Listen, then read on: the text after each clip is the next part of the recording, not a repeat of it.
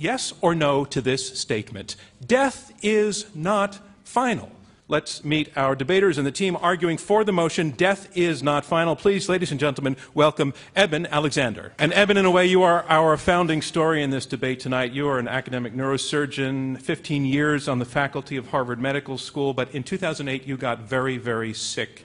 You went into a coma for seven days, your brain effectively stopped showing signs of life in the higher functions, and you came back and you said, I was there. I saw it. I've seen the afterlife. In one word, what did you see? What was it? Astonishing. Astonishing. And if you had heard somebody back before you had this experience make that same sort of claim, what would you have said? No way. At least not until I knew all the facts. Ladies and gentlemen, Raymond Moody. And Raymond, you are also arguing for this motion that death is not final. You're a psychiatrist and you have a medical degree, a degree, a doctorate in philosophy. Uh, you are described as the founder of the near-death experience. Uh, you coined that phrase in your book in 1975, Life After Life, in which you looked at more than 100 cases of people who had experienced clinical death and, and come back. Um, you've been looking at this now for decades, but it's interesting to us to note that your curiosity in this whole thing was piqued not by a religious conviction. What was it? No, I'm. Could, can not, you just move a little closer to your yeah, mic? Um, I was not religious. I got interested in the afterlife question at age 18 when Plato convinced me through his argument that the afterlife question is the most important question of existence. And now the team to argue against this motion, death is not final. Please, ladies and gentlemen, welcome Sean Carroll. Sean, uh, you are a physicist at the California Institute of Technology. Uh, your research focuses on uh, fundamental physics and cosmology.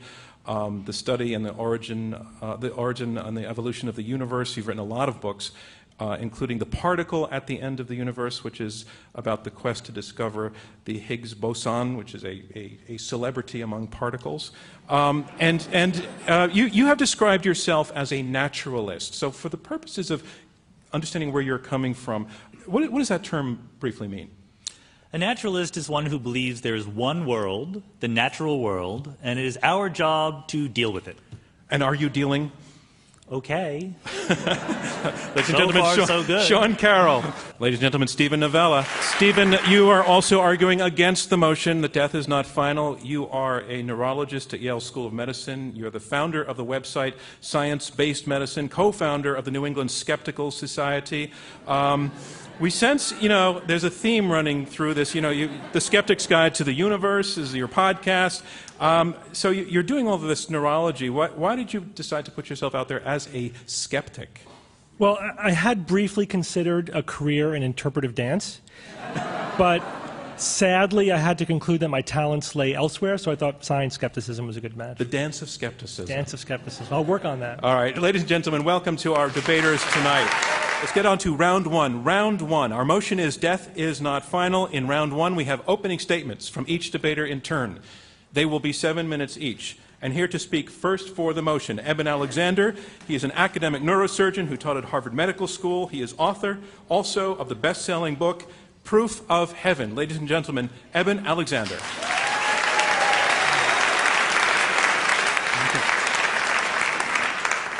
Thank you very much, John. Um, I've been an uh, academic neurosurgeon for over 20 years, and I fully believed in reductive materialism, our modern conventional science. In fact, six years ago, I would have been sitting over on that side of the stage with uh, Steven and Sean. Now, at that time, I believed that the brain creates mind and consciousness, that we have no free will, that it's birth to death and nothing more. Then something happened. I now know that those ideas are false. In November 2008, I was driven rapidly into coma due to a severe bacterial meningoencephalitis, which I much later came to realize is the perfect model for human death. Destruction of the neocortex, the outer surface, the human part of the brain. Sadly, almost no one returns, much less recovers, from a case of meningitis as severe as mine. The last evidence of any activity in my neocortex was in the first hour or so in the emergency room, and afterwards I demonstrated only very pathological reflexes, including severe brainstem damage. Given my gram negative bacterial meningoencephalitis, which I was found to have, and my descent into coma over three and a half hours, I had at best a 10% chance of survival at the very beginning. It only got worse. Mine was an absolutely lethal meningitis. Uh, my white cell count in my cerebrospinal fluid was 4,300 and a protein of 1,340. Both those numbers should be zero. Uh, in fact, the, the glucose in that fluid normally 60 to 80, and maybe as low as 20 in a severe case of bacterial meningitis, went all the way down to 1. None of the consultants in my case from Harvard, UVA, Duke, or Wake Forest had ever seen that severe a case. My doctors never found a cause. The scan showed diffuse destruction of my neocortex with blurring of the gray white junction over all eight lobes of my brain. No area was spared. Later in the week, off all sedation, my neurological ac activity was almost nil with what's called a Glasgow coma scale, which in everybody in this room would be 15, and a corpse is 3. My scale was ranging from 3 to 5. This was a very severe meningitis. On day seven, with no residual neocortical function, brainstem badly damaged, reflecting the deadly nature of my illness, my doctors recommended, uh, because I was down to a 2% chance of survival by that point, with a best case scenario that if I survived, I'd spend a month or two in hospital, be transferred to a nursing home, and die in a coma months later. Hence, they recommended just stopping the antibiotics. My journey deep in the coma began in a very primitive, unresponsive realm, which I later called the earthworm's eye view the best consciousness my brain could muster, soaking in pus. My prior neuroscientific view would have dictated that the next step would be one of no awareness at all. Yet it was just the opposite, like the blinders coming off. I ascended into far more crisp, vibrant, ultra real realms of pure joy, love, and understanding, realms I called the gateway and the core, far too rich and complex to fully describe. Soon thereafter, I started to return to this world but with my brain so wrecked that I had no memory of words or language, nothing of Eben Alexander's life before coma, any religious concepts, etc. Yet I knew the entire ultra real odyssey that I had just been deep in coma, one so extensive it seemed to last for months, even though it had to fit within seven days of Earth time. Words came back to me over hours and days, childhood memories over weeks, and knowledge of brain, mind, consciousness of more than 20 years' experience in neurosurgery came back over two months. My doctors have no explanation at all for my full recovery. Other cases of medically inexplicable healing do occur in transcendental near death experiences, like those of Anita Moorjani and Dr. George Rodonaia. In the 36 hours after emerging from coma, I was in and out of a delusional, paranoid, psychotic nightmare that was completely different not even in the same ballpark when compared to the ultra reality of the deep coma experience in the gateway and the core. Those experiences deep in coma seemed way too real to be real. My doctors, believing that the brain creates consciousness and knowing the destruction they had seen in my brain, had told me that I could not have had any such experience in the depths of coma and therefore just to forget about it. I knew I'd experienced something, and sensed that it had to do with a fundamental flaw in the models of consciousness and the, and the role of the neocortex. Early on, I tried to explain all of this as a brain based phenomenon based on my old paradigm, writing it up as a report for the neuroscience literature. It's important that when I was emerging from that coma, I saw six faces at the very end, and these were faces that were very important in helping me to realize that the entire coma experience happened between days one and five of my coma and not at the very end. Over those weeks of recording my experience after coma, I also began to talk with my doctors and review my medical records, especially neurological examinations and the scans, and came to realize just how deathly ill I was and how there was no way that such an ultra real, crisp, and vibrant experience could have happened in my physical brain. Modern neuroscientific ideas of the neocortex and consciousness would dictate that I should have experienced nothing at all beyond that earthworm's eye view. I wrote the entire experience down, 20,000 words that I wrote over six weeks, before I read anything about near death experiences. I'd never read that literature before. Initially, I was very worried that the memories would fade Those memories are as sharp today as when they happened. Memories of uh, the delusional paranoid psychotic nightmare that occurred over those 36 hours after I came out of coma faded within weeks very different origin.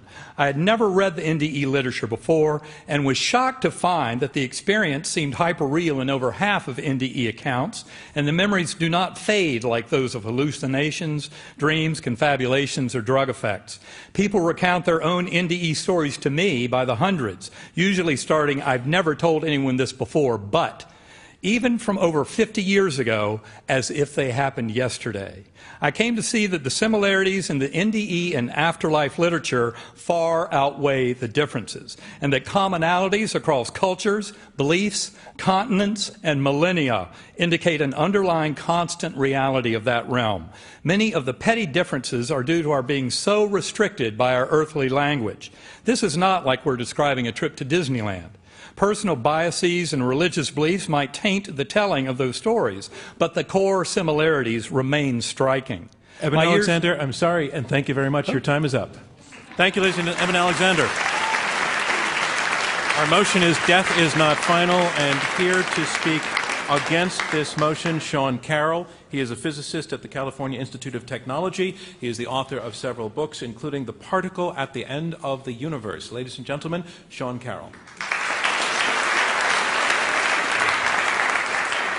Thanks, John. It's a pleasure to be here defending such a cheerful and uplifting proposition as death is, in fact, final. Driving around the streets of Los Angeles, where I live, you can't help but notice these gigantic billboards telling us all men must die. It turns out they're advertisements for Game of Thrones, but I thought that they were advertisements for our event here tonight. It's a similarly, you know, not quite as happy message as we might like to accept. Fortunately, we can open Dr. Alexander's book. It begins with a quote from Albert Einstein. Einstein says, A man should look for what is, not for what he thinks should be. To which I would like to reply, Exactly.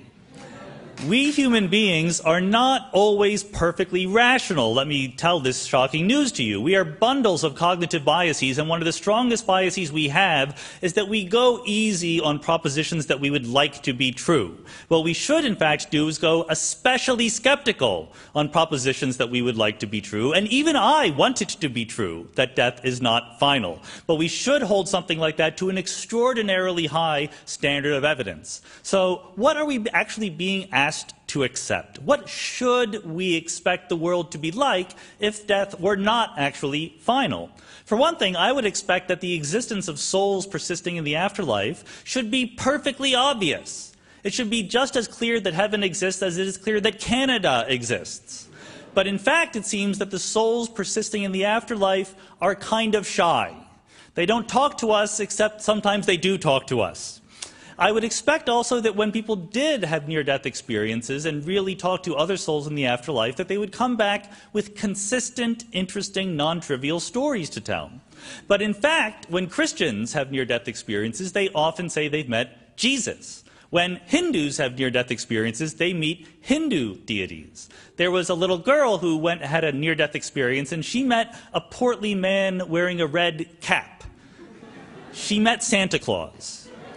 And we are told by some defenders of this that, well, Jesus dressed up as Santa Claus so as not to scare the little girl.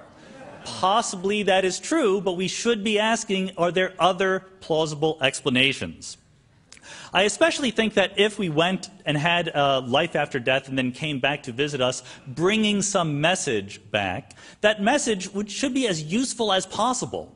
We are told that, you know, people have after death experiences and they come back saying, you know what? Love is really important. I agree with that, but actually I knew it already. What I would like to know is a cure for Alzheimer's disease. What I would like to know is something that I didn't already know brought back to us, but it seems that the souls in the afterlife tend to speak in platitudes. The story that we're told of life after death doesn't really hang together. What we have are personal testimonies, like that from Dr. Alexander. So people say with very sincere voices that what they experienced was totally real. And I have no doubt in the sincerity of this testimony. What I'm asking is, is it possible that our brain is telling us that something was real, but that thing does not actually correspond to something that really happened? And when you ask it that way, the answer is obviously yes. Our brains are fooling us all the time. Steve Novella, my partner, will tell us about the neuroscience behind this, but basically, our brains are not like video recorders or photo albums. They're more like little theaters. When we try to remember something, it's much like imagining something that hasn't happened. It's more like running a script than reviewing a tape. And that's why when we dream, when we hallucinate, when we have a near death experience, it is just as vivid as something that actually happened. In the legal community, they will tell you that eyewitnesses who tell you that have a certain sincerity and conviction that their eyewitness testimony is true, that conviction is essentially uncorrelated with how true it actually is. The vividness or reality of a memory does not tell us that it was really real. So, what is going on? We had this informal idea that there is a soul that sort of is a blob of spirit energy that takes up residence near the brain and drives us around like a soccer mom driving an SUV. But we've known for a long time that this picture doesn't make sense. Back in the 1600s, Princess Elizabeth of Bohemia carried on a correspondence with Rene Descartes, who was trying to defend mind body dualism. And Elizabeth demanded to know how could something immaterial like the soul affect something material like the brain or the body? Descartes was never able to answer that question, and these days, science has gone way beyond that. We know a lot more about what is happening. We can literally see memories being formed. We can see the chemical changes in neurons. So the soul is supposed to also have memories. How do the memories get from the neurons to the soul? We know that brains often have false memories in them. Do the, does the soul in the afterlife carry those false memories, or are they somehow corrected after death?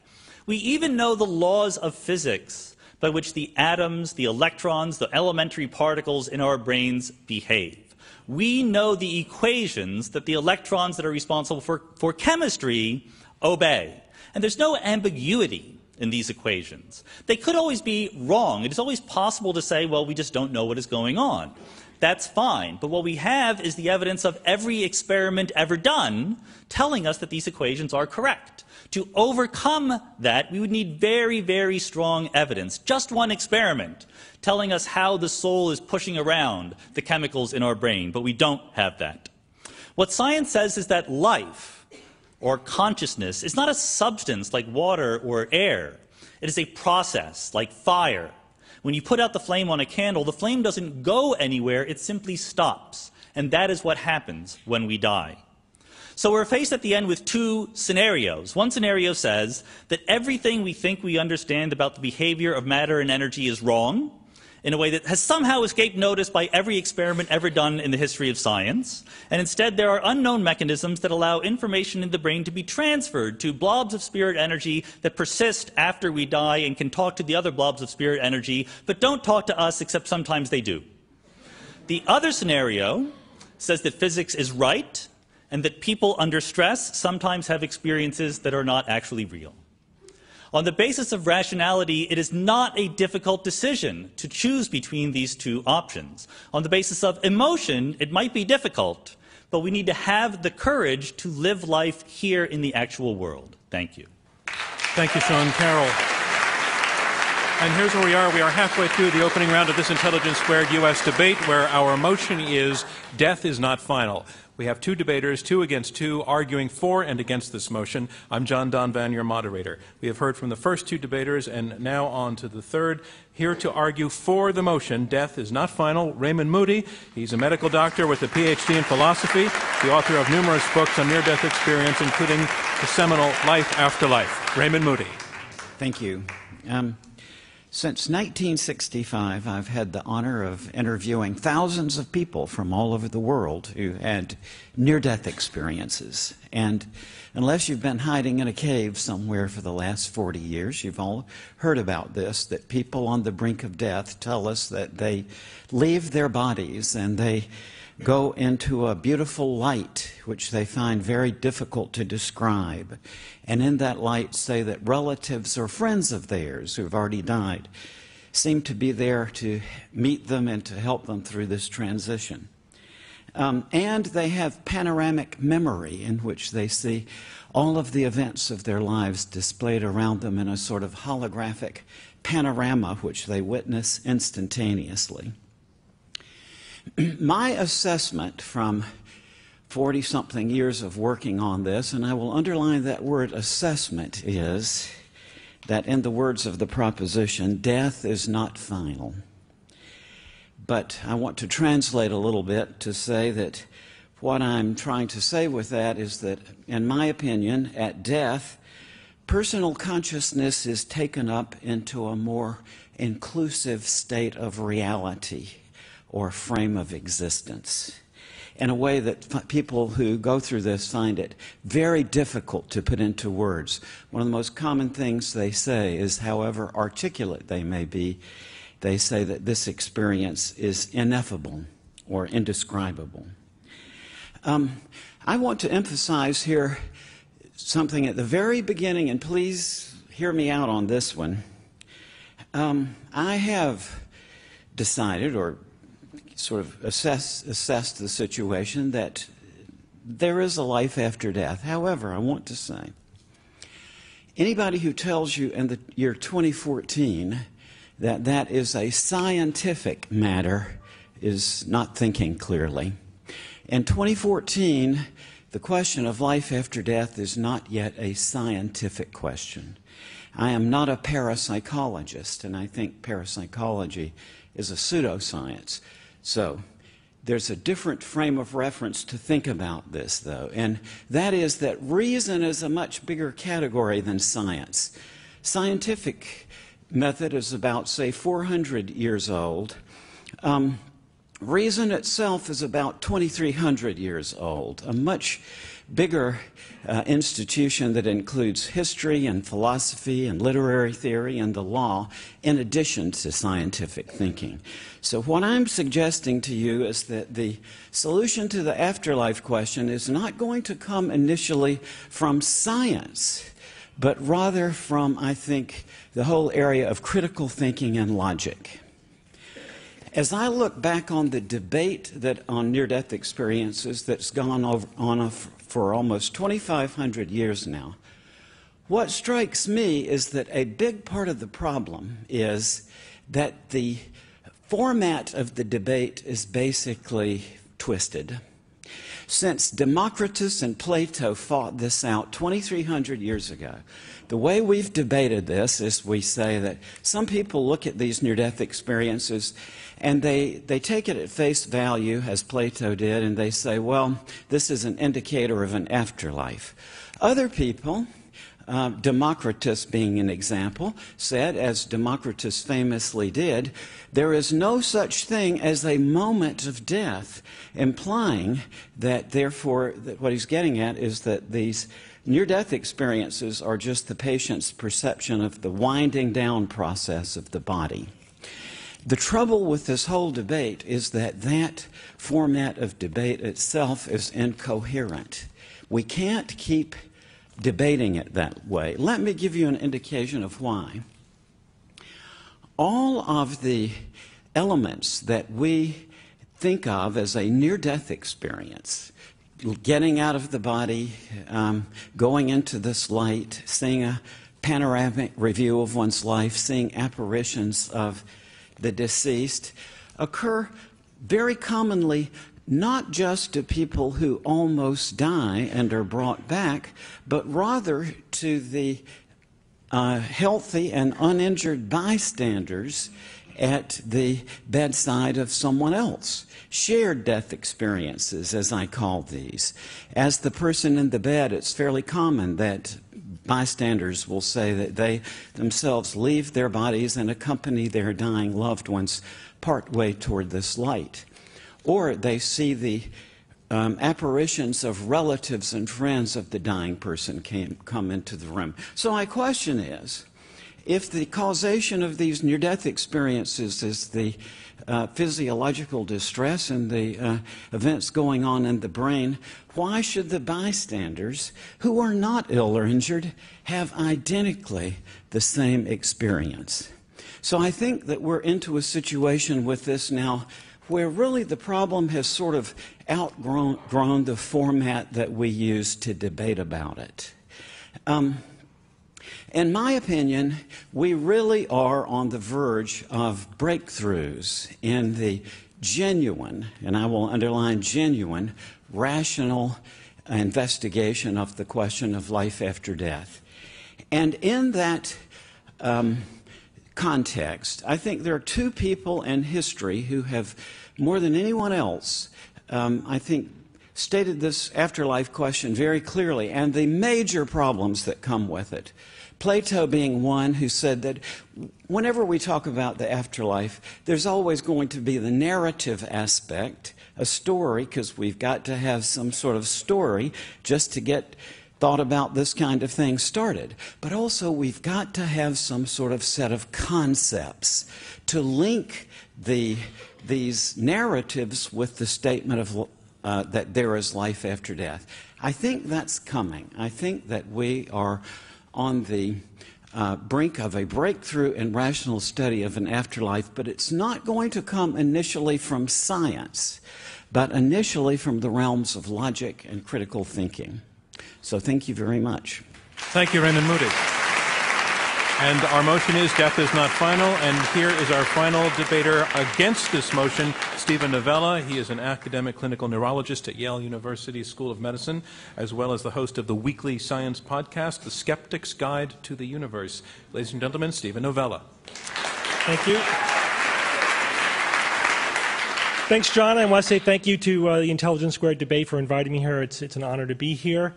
So I'm going to convince you that you need to vote against this proposition because if you vote for the notion that death is not final, then you, that by necessity means that you're voting against the conclusion, the scientific position, that the mind is what the brain does. The mind is a process of the brain itself.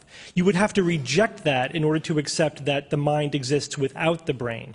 Well, how sure are we, how confident are we, in, as a scientific conclusion, which is what we're here to talk about, that the mind is essentially the brain? Well, we're very, we're very certain about that. We're as confident of that as we are of anything in science. We have a mountain of neuroscience, countless experiments that look for the neuroanatomical correlates of consciousness, of, of, the brain functioning, of the mind. Everything that you think, feel, believe is something that's happening inside the brain demonstrably. But let's take that as a scientific hypothesis. If the mind is entirely the brain, then what must also be true? Well, then, if the arrow of causation is going from brain to mind, then if we change the brain, that should change the mind. And if we damage the brain, that should damage the mind. And if we turn off the brain, that should turn off the mind. Well, if all of those uh, propositions are correct, that strongly supports the notion that the mind is essentially the brain. And that is, in fact, exactly what scientists have discovered over and over again over the last one to two centuries of neuroscience. I can give you, I'm a neurologist, so I can give you tons you know, of examples from my own personal clinical experience, but let me just tell you about one very interesting neurological phenomenon called Capgras syndrome. This is a syndrome in which, um, well, I'll give you, I'll, I'll, back up a little bit. So uh, when you're looking at, let's say, the face of your wife or your spouse, um, what's falling on your retina is just shapes and shadows and colors and lines, but the, your brain has to construct that into an actual image. But then it also has to give meaning to the image. It has to tell you that these shapes are, in fact, a face. And then another part of the brain tells you, that's not just any face, that's the face I know well. That's the face of my spouse, the face of my wife. Now, assuming, however, you have feelings about your wife, let's assume that, then there's also a connection between that part of your brain that tells you that that face is your wife to the limbic system. That's the emotional part of your brain. And that connects your emotions, your feelings about your wife to that image. So when you see your wife, those feelings are connected to it. These are all circuits that are happening demonstrably in your brain.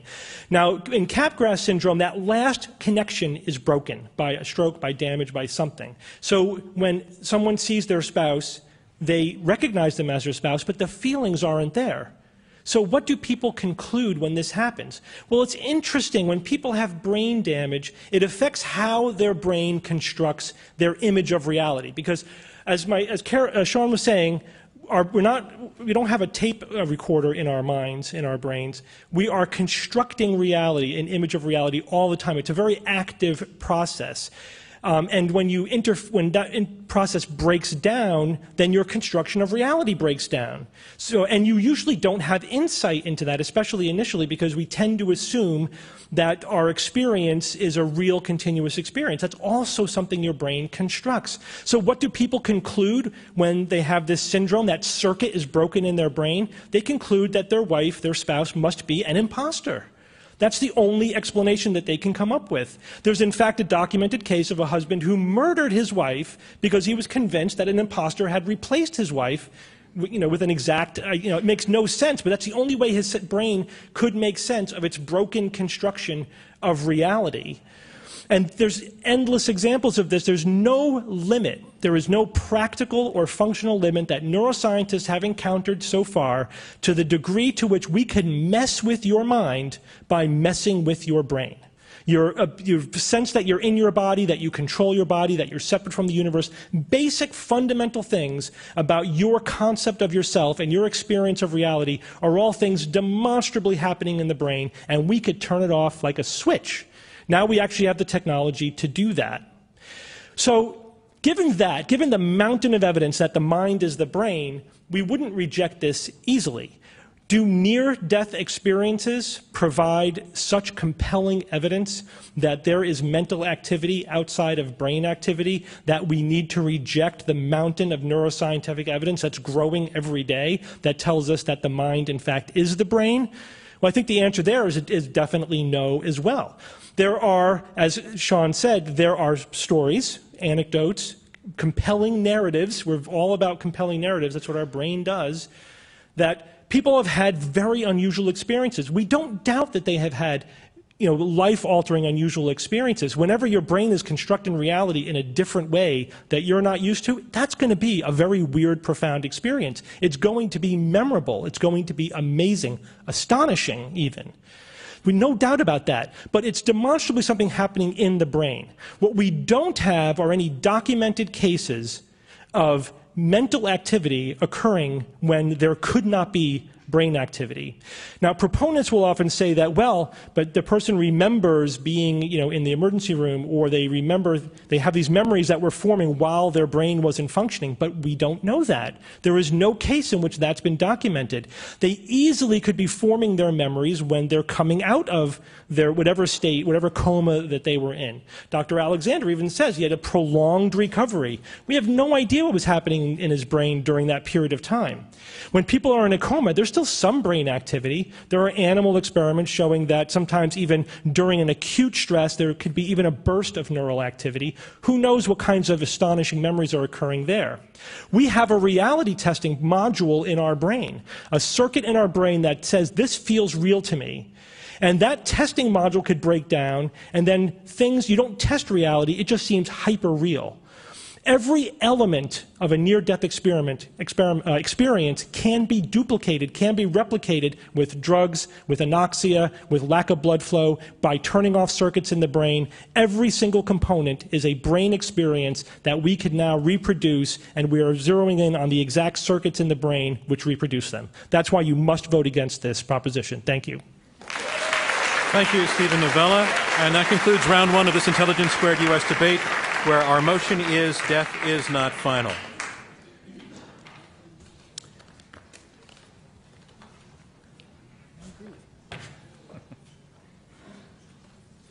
Now we move on to round two. Round two is where the debaters address one another and take questions from me and from you in the live audience. Our motion is this death is not final. We have two teams of two arguing for and against this motion. We have Eben Alexander and Raymond Moody, who have made a presentation based uh, very significantly on the personal experience of Eben Alexander. Uh, it's an argument based on one very, very compelling anecdote of a guy who's been there. He has seen it, and he is not a gullible guy and never was. He was trained as a scientist. He comes back saying that consciousness is something that is a lot bigger than the brain, that what he experienced could not uh, be explained by brain activity, uh, especially given the illness and the state of illness he was in when his brain was functionally non functioning.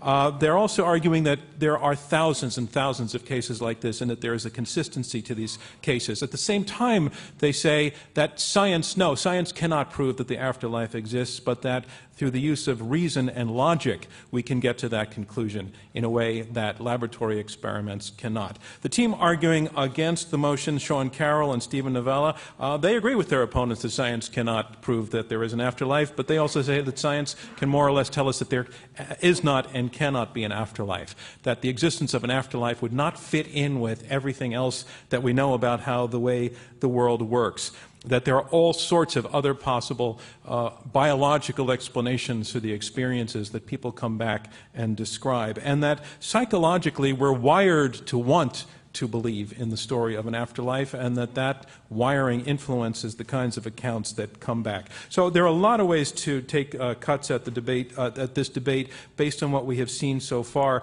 But I, I want to, you know, we, are going to talk about the power of anecdote, the validity of anecdote. We're also going to talk a little bit about what we know about brain function and the state of brain function. And I want to start with that point uh, as the opening, as it's the thing that we most recently heard uh, Steven Novella talk about. And I want to go to Eben Alexander.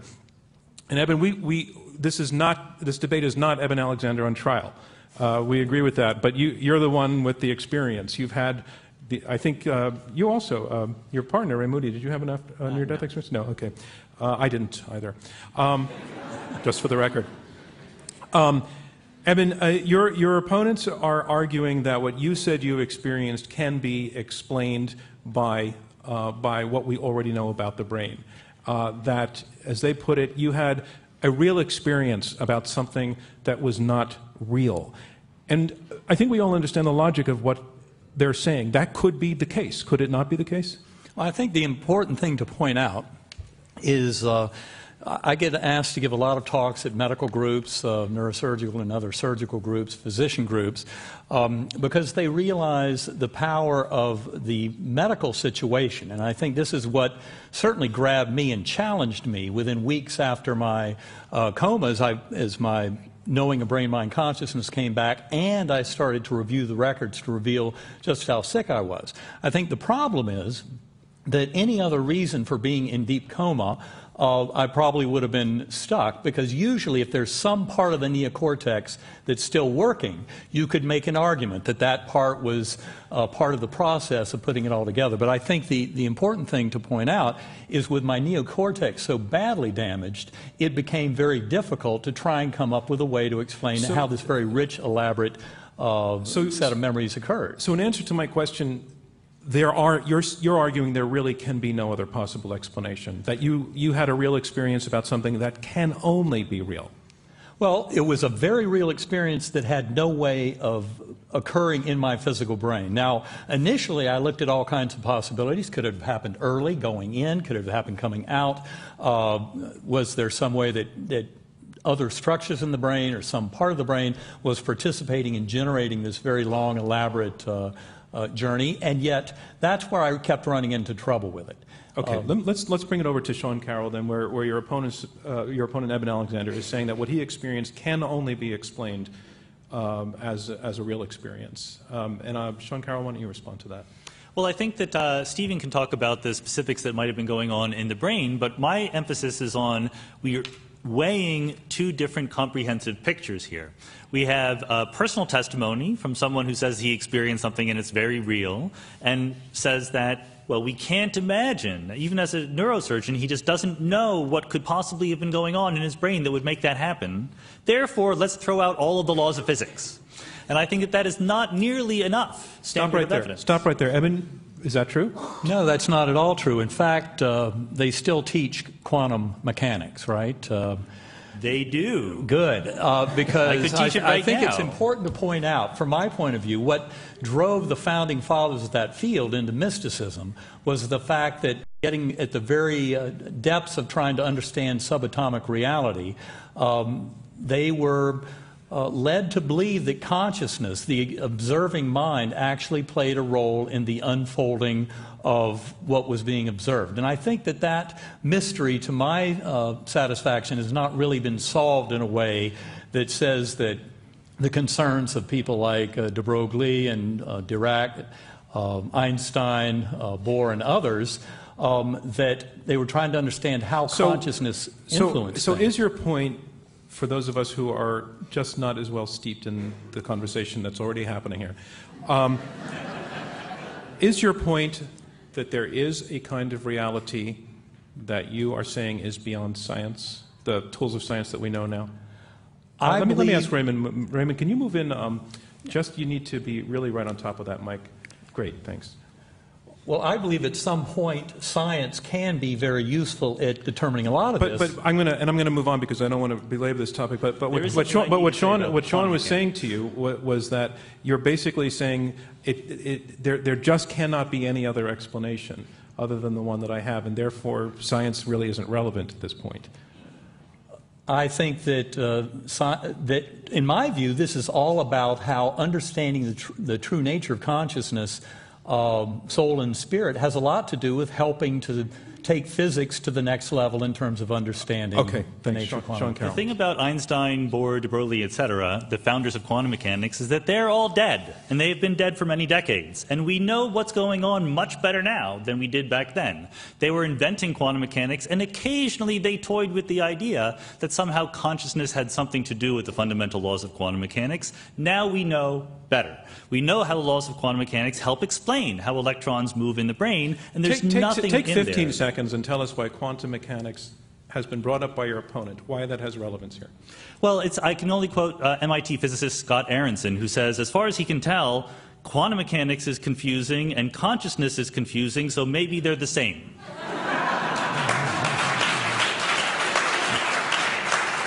Raymond Moody, let's bring you into the conversation. Um, you know, really, um, I think the in reality, what we're dealing with here is not a scientifically decidable issue, but a philosophical question. And what it's called is the mind body problem. Probably first articulated in the West by Pythagoras, but there have been many, many different uh, theories of it. The one that's current in the neurosciences is called epiphenomenalism, which says, in effect, that there is no independent reality to what we experience as consciousness, but it's a secondary byproduct of the primary reality, which is the brain and the electrochemical events going on in the brain. In my opinion, that's a philosophical statement, It really. And my answer is, I don't know. I think the I think the uh, mind-body problem is still unresolved. All right, let's go to your uh, opponent, um, Steven uh, Yeah. Novella, who specializes in whether, Yeah, so- whether the mind is in the brain or not. I, I think, you know, Dr. Alexander said that the experience could, that he remembers, again, I don't doubt he has a memory of a profound experience uh, that he could not have occurred as he, as he was coming out of his, of his coma, but he has, you have no basis for that statement, I don't think. That you, you have no sense of time. Your brain also constructs your sense of time.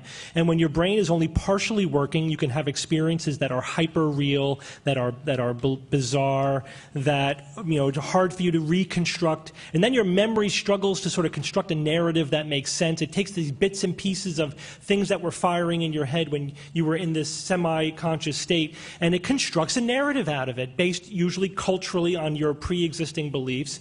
Uh, you know, things like near death experiences, whether, you know, as Okay. Moody said, if you got to so be in so a you're, cave, you're, in you're, a pro- cave not you're, to you're providing a lot of other ways that what Eben says could have happened, could It's not have happened. perfectly- anyway. okay, perfectly so consistent with I what want to I want to take brain that back to, functions. to Yeah. Eben then. So so your opponent, Steven Novella, has just laid out many many scenarios in which what you experienced could not could have been uh, real to you, but not uh, not, not real. Well, I would say And, that, and what, what are your responses to his specifics? Well, the interesting thing to me in looking back on it is the fact that you know, I started for a very long time in what I call this earthworm eye view, a very primitive, coarse, unresponsive realm that had absolutely no kind of interactivity to it. And yet I remember that prolonged period.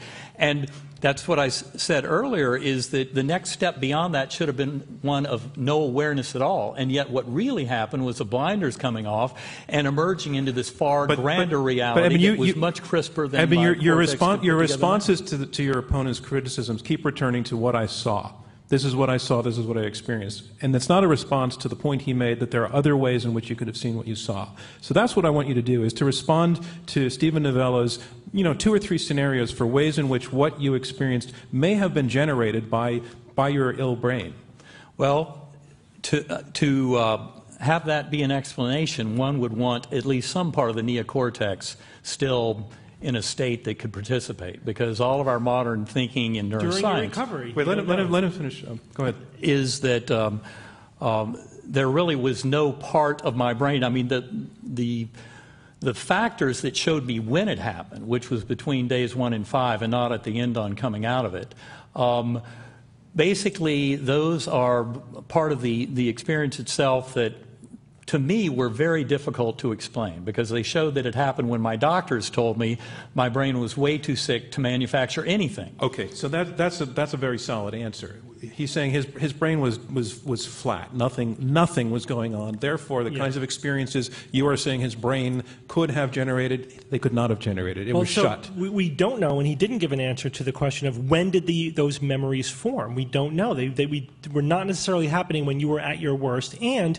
when you were at your worst, there wasn't the kind of func- functional monitoring that we would have needed to know that your brain was not functioning at all. We don't know that. We saw anatomically it had edema, swelling, and that certainly would have you know kept you unconscious. But you weren't you weren't getting an fMRI, a PET scan, or an EEG, as far as I could see any anything that you've written or said about it that would have documented zero brain activity. You can't say that. Nobody can say that. And even still, those the memories that you have now were not necessarily formed when you were at your deepest part of the coma. They could have been uh, forming in the hours and days when you were coming out of the coma. Then you had a later delusional period, but at different points in time, different parts of your brain were working or not working, and you were constructing reality in a very bizarre way, in, in ways that we can reproduce with drugs and hypotension and you know with electromagnetic stimulation of different parts of your brain.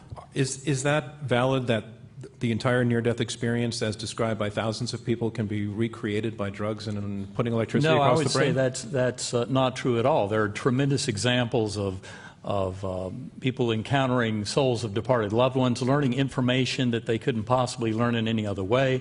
You had said uh, earlier that there were no cases of any of these memories being generated.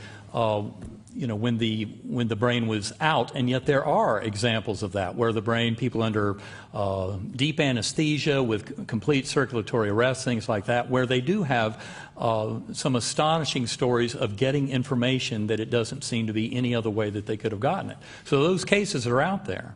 But those cases are not, you know, controlled or documented. So, in other words, that we don't know that they couldn't have gotten that information any other way. A lot of those cases, I've read them. They're like cold readings. You know, you're, you're getting information that is either plausible or later was retrofitted to the scenario. It's all a lot of special pleading, the same kind of information you get from a psychic. It's not controlled scientific information. There are, in fact, attempts at putting controls in place, like putting uh, playing cards on top of a shelf that could only be viewed if you were actually floating above the ceiling. And to the extent that those have been done, no one has been able to demonstrate any information that w- could only have been obtained while they were extracorporeal, floating above their body. And by the way, we could make you float above your body. Um, Raymond Moody, did you want to comment, or I can go back to Eben? Because I, I actually want to move on to a different, a different point that was made, and that was Sean Carroll. You were making the point that we're, we're wired to want this to be true. We're wired to want to, to, uh, to, to, to shape strange events into narratives and into narratives that we particularly like. And my response to that is maybe that's true, but that doesn't necessarily mean that's what happened over here. And there's a little bit of an argumentum ad hominem thing about it, is you're not a reliable reporter because you just want that to be true. And I like sort of like to, it's a little bit insulting almost to say um, you, you can't be trusted because you want everything to be happy. To respond yeah, to that. I, I, hope it's not insulting. It's certainly not ad hominem because the message is that nobody can be trusted. I think that that is part of what science has taught us. That if someone makes an extraordinary claim, the very first questions we should be asking ourselves are number one, is there a different, simpler, alternative explanation? And number two, how would we know if our purported explanation were false? How would we disprove it? How could we possibly test this idea?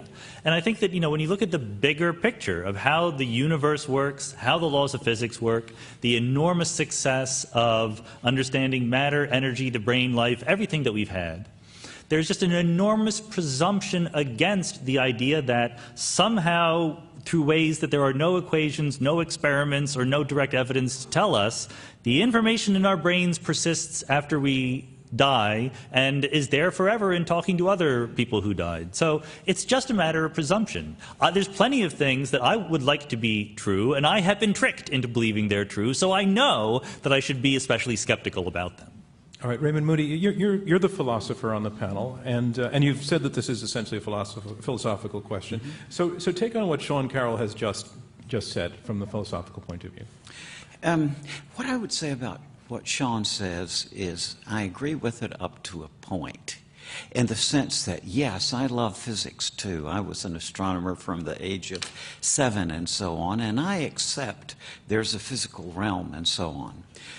But that doesn't rule out that there could be a state of being that doesn't operate by physical principles. I noticed, Sean, when you were trying to think of some other realm, you were thinking in terms of energy or soul substance or whatever. But I'm talking about something entirely different.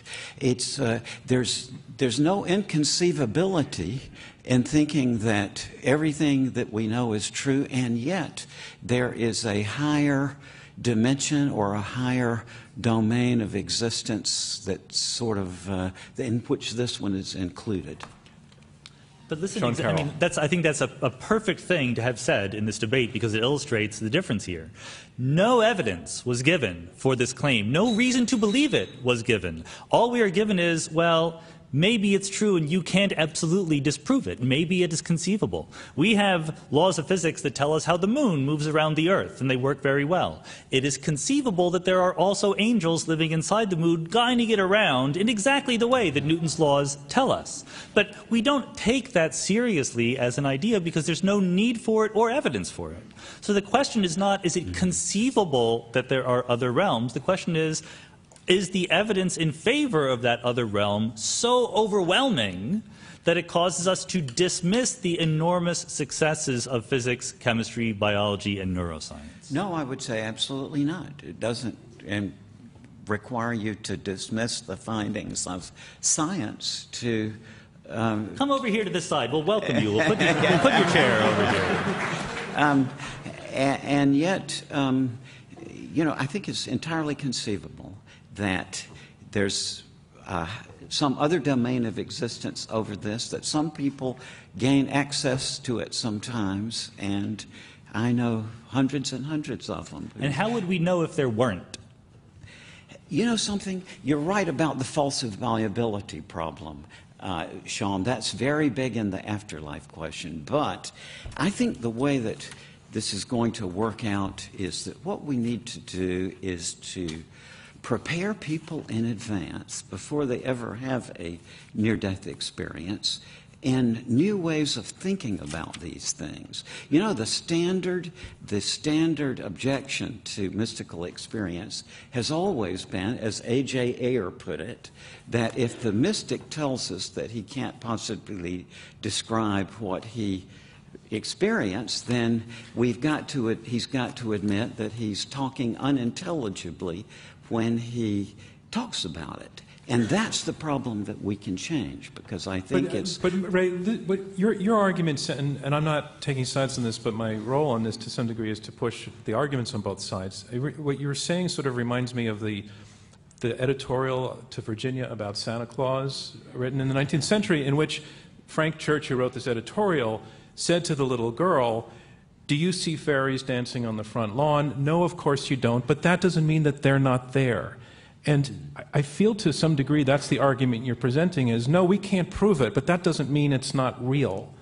What my argument And I just need you again to come close to the Yes, mic. yes. Thanks. Um, my argument is that when thousands and thousands of people whose judgment I trust in other, um, in all other circumstances, a lot of medical Okay, friends. give us one mine- example, because I know you've written about this. Examples where people who were not the person lying in the bed, but other people in the room had an ex- experience, and let the other side respond to that. Okay. Um, And just lean into that mic. a, um, an artist I met a couple of years ago, Jeff Olson by name, um, a very well known graphic artist, had a horrific car crash in which he lost his leg. He, uh, his wife was killed instantly, and he had a profound near death experience. As he was um, thinking about this, and he, you know, what am I going to do about this? His um, doctor uh, had not been informed about this. So he decided to write this story up, and then he wanted to use the name of his doctor. So he called the doctor and invited him to lunch. The doctor came, and um, Jeff told him the story of his near death experience, whereupon the surgeon said, Well, I've never told anybody this, but that night you were in the hospital, I knew that you weren't going to die. Your wife was talking with me in the, uh, in the surgery room, and the, the His, sur- dead, his dead wife.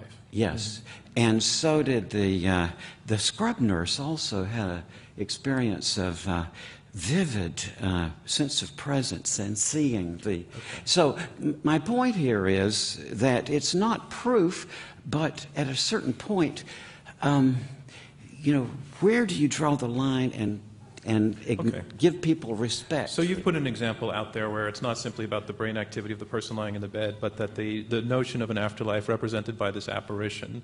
We are talking about ghosts now, and, and, and um, I'm sorry that sounded pejorative, but we are talking about something that a lot of people would challenge as incredibly implausible, but you're, you're, taking, you're taking the argument seriously, so I want your opponents to respond to it seriously. Well, you know, we, we want to know what's really, really true, not just what seems to be true, what we want to be true. And, you know, again, our brains are narrative generating machines. It tries to construct a story that makes sense to us, appeals to us, stream, puts everything together seamlessly. And, you know, we can have what we believe, we have memories of experiences that mean something to us, but don't really relate to reality. We know this is true. If you accept that level of evidence, and this is not about respect, I believe that people have these memories of these experiences. That's just about the Wait, interpretation Steven, but of you're, you're are you talking about the, the, the scrub nurse and the doctors? Anyone, I mean, think about it. But, the, but these, many- these scrub nurse and doctors were at separate, met this woman at separate places, right? On the But- same night.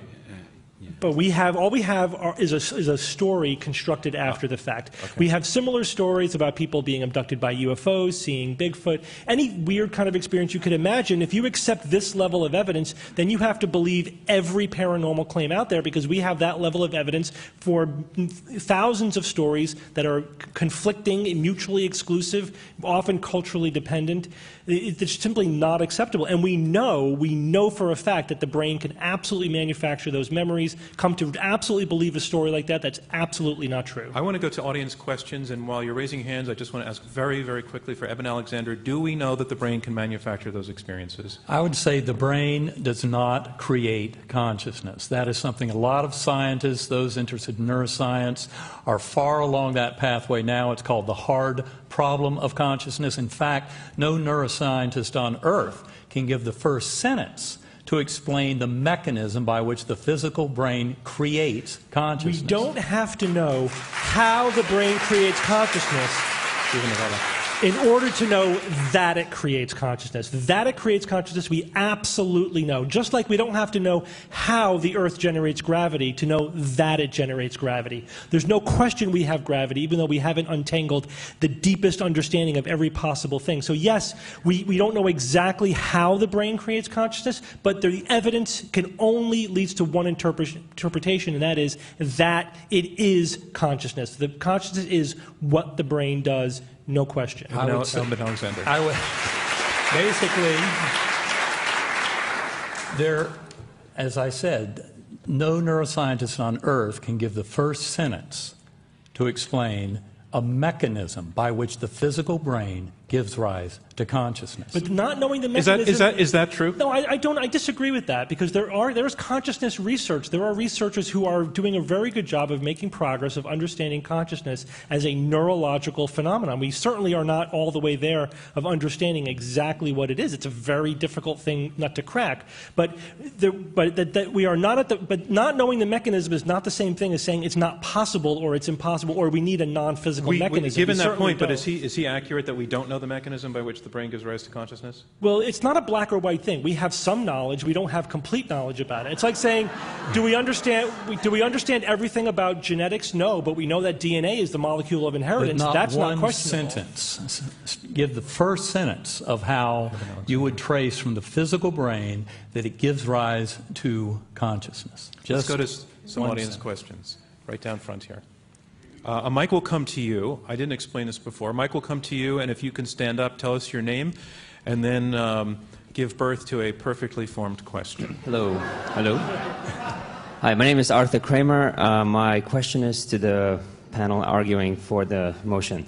Uh, if a person was to take a strong hallucinogen, like say um, LSD, and they were to have a very um, distorted experience, uh, hallucinations, would you accept their version of reality, or would you just merely dismiss it as them having uh, an experience because of That was a perfectly formed question. And very relevant. Um, which of you would like to take it? Uh, Raymond Moody. Um, you know, I think William James was kind of right about that, that whatever experience one has, one can say that by definition almost there's some correlated state of the central nervous system. Um, the question of reality is an entirely different question. Can I imagine that maybe by taking some substance, someone could gain access to some other kind of reality? Yes, I can imagine that. However, uh, you know, I think it's always, it boils down to the particular, doesn't it? I think you have to look at a much broader uh, set of information to make a, but generally speaking, yeah.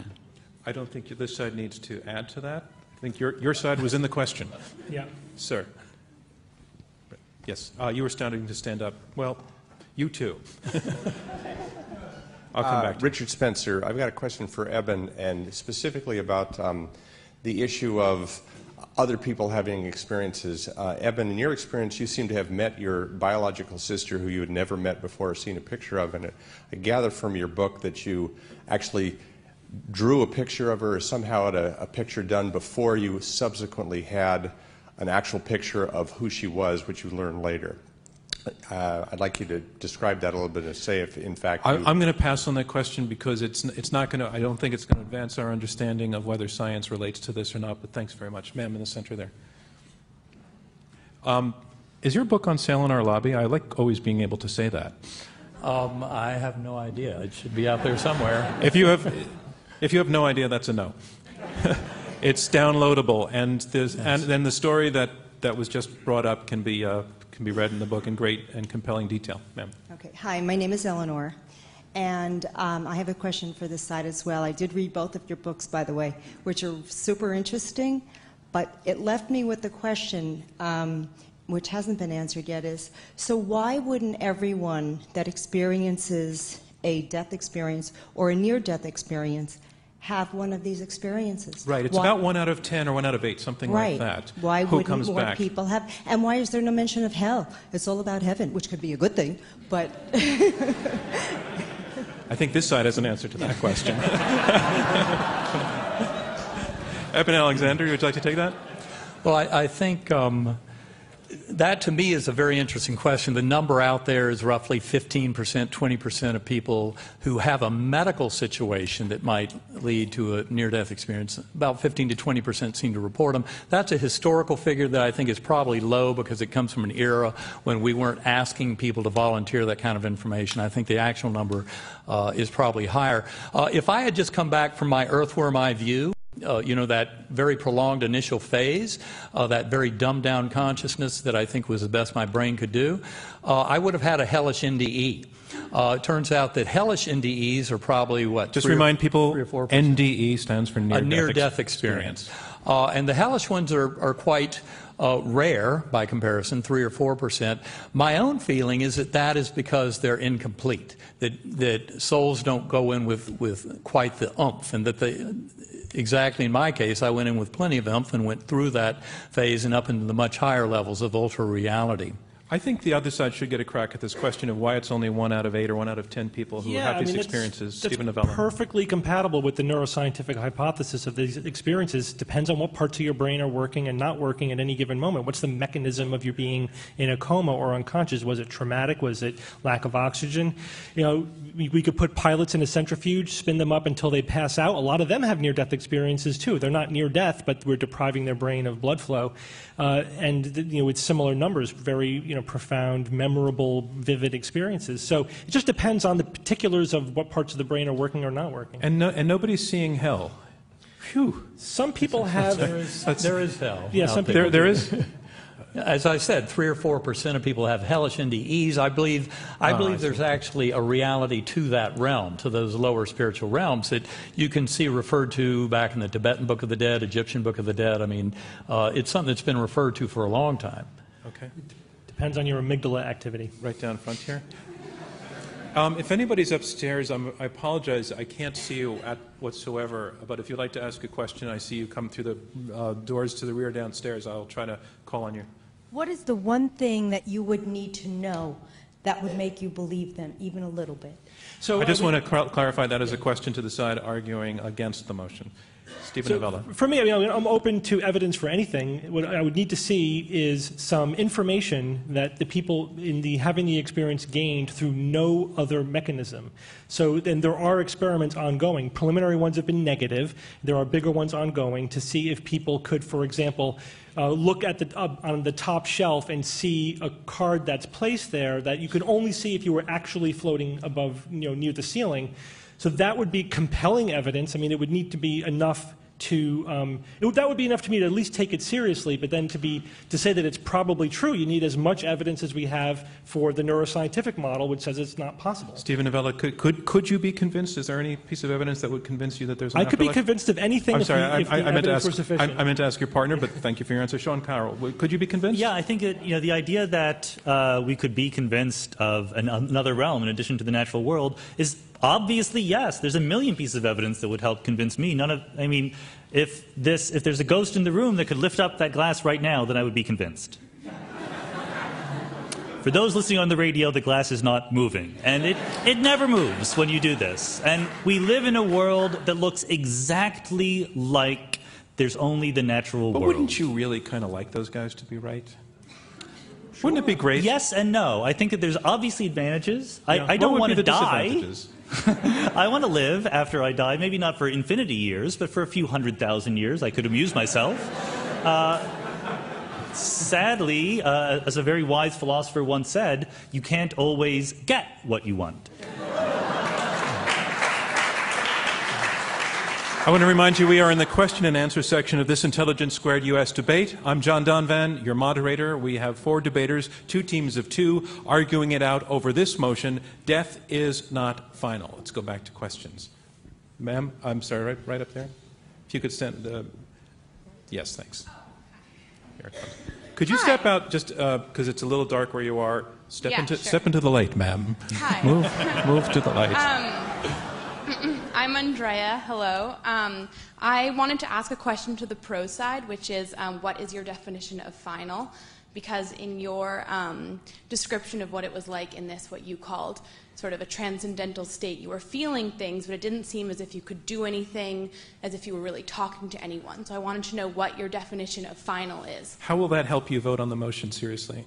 Um, because, you know, if the motion is death is not final, so there, if they have to convince me that there's something beyond when the body, you know, decomposes into the earth, that doesn't end what we know to be life. So I wanted to But I know- think I, I'm going to pass because I think that's the thrust of their entire argument is that, that unless I'm really missing your point, they, they, all they have argued is that death is not final. Am I missing something?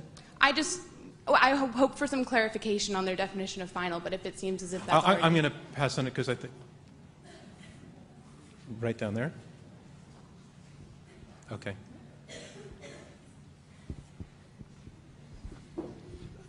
I'm Michael, and uh, Dr. Moody, in your opening comments, you said that we, you believe we're on the verge of understanding through philosophy and logic um, this, this other realm. Can you elaborate on that? Yes, I think that probably of uh, about one out of five people I meet socially, and when the conversation develops, well, what do you do? Oh, I write books, near-death experience, and so on. About one out of ten people say, um, "Oh, I don't believe in life after death. When you're dead, you're dead." Then I go on and I ask them, "Well, how did you reach that conclusion?" Most of them say, what are you talking about in the first place? Life after death is just illogical.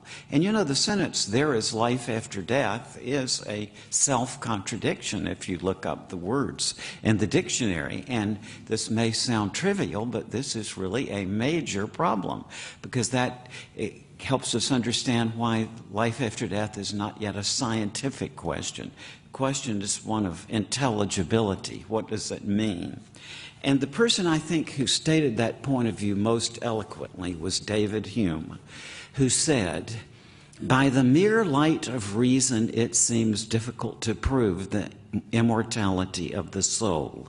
Then he went on to say, some new species of logic is requisite for that purpose, and some new faculties of the mind that they may enable us to comprehend that logic. That sounds like a tall, tall order, but it's not really that difficult. Um, the trouble is that you have to stop thinking about stories for a while and beautiful narratives and really get busy with some conceptual thinking. But when that's all said and done, I think that we do now have new ways of thinking about things that are illogical that will open up entirely new ways to investigate the afterlife question. This is not geared to the afterlife per se what somebody who wants to go through this pathway has to do first is to say, well, what I'm going to focus here is on learning new logical principles and going through a process of learning. Then, as a corollary, much later down the road, this has implications for the afterlife question. We're going to we're going to book you in about seven years and see where that see where that process is. Me going to more questions, sir.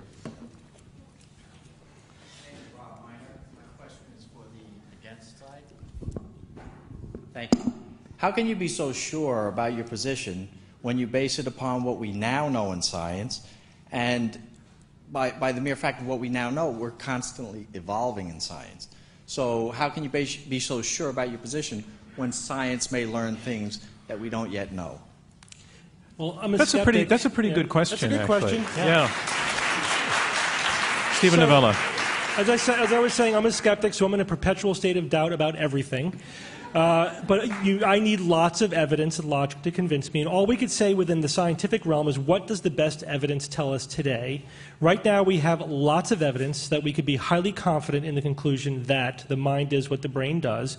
And we have no compelling evidence, only narratives and, and really dubious evidence to against that proposition, against that notion, or for the notion that there is some consciousness separate from the brain. So the scientific conclusion today is that the mind is the brain. If new dramatic evidence comes to light that changes that, I will happily move along with the evidence. Sean Carroll, take a crack at the same question. I think you know, it's a great question because there's this image, like when we're teaching high school in science, that it's a bunch of facts that are absolutely established. Whereas professional scientists like to brag about the fact that, like Steven just did, that you know we're always skeptical and we're always ready to throw out everything. And and both are true, but because there's some intermediate ground. There are many, many things that science does not understand, and we're hoping to get better at it. Many, many things. And there are also some things that science does understand and are not going to go away. This table is made of atoms. We will improve our understanding of what an atom is, what the elementary particles and fields are that make it up, how they interact. That is not finished yet. We can do better. But a million years from now, our best scientific understanding will still say that the table is made of atoms. In my judgment, the current status of our scientific understanding, the parts that we're not going to give up, are enough to conclude that death is, in fact, final.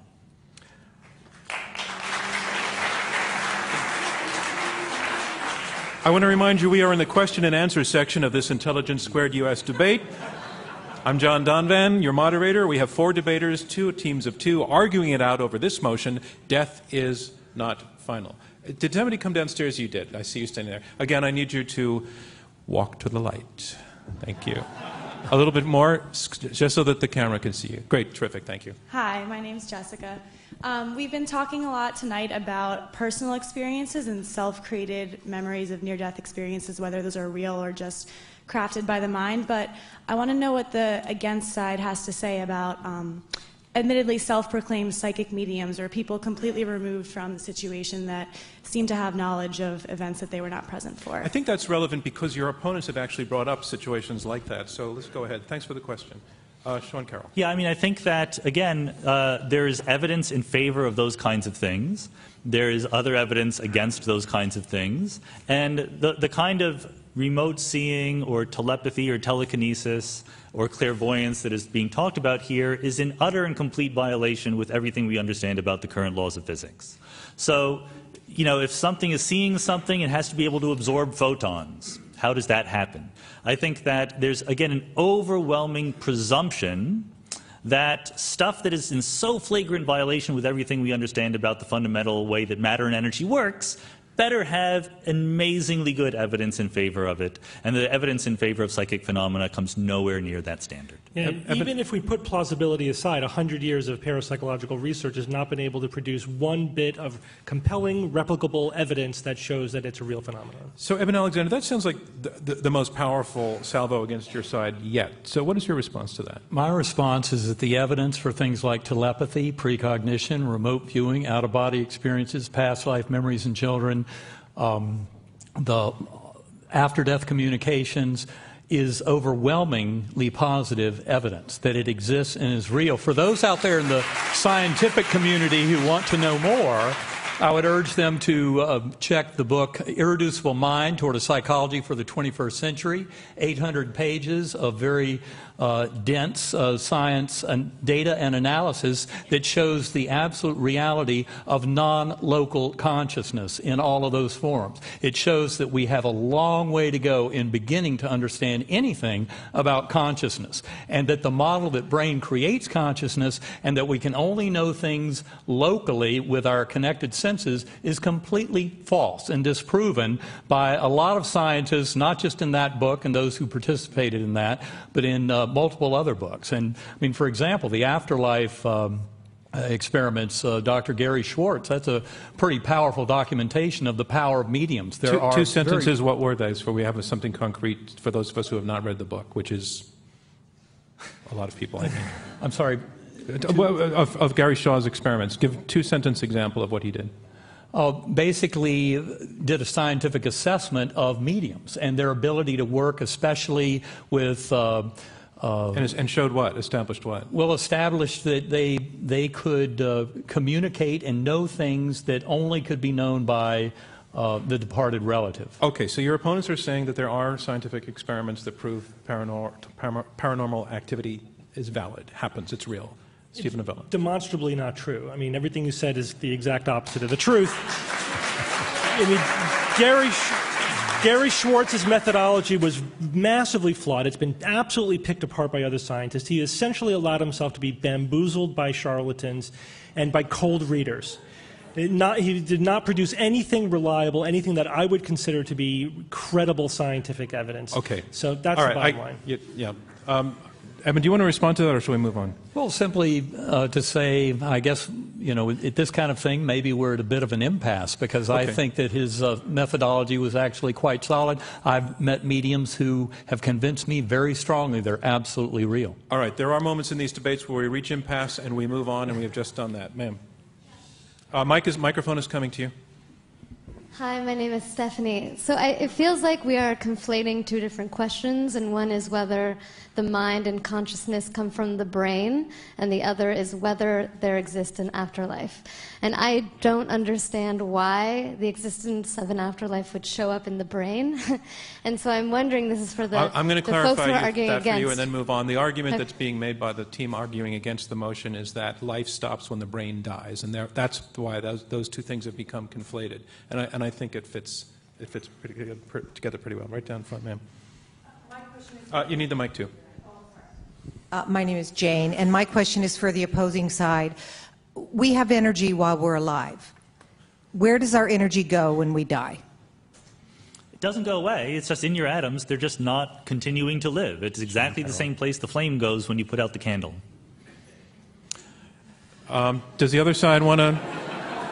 Does the other side want to take on the candle argument, or?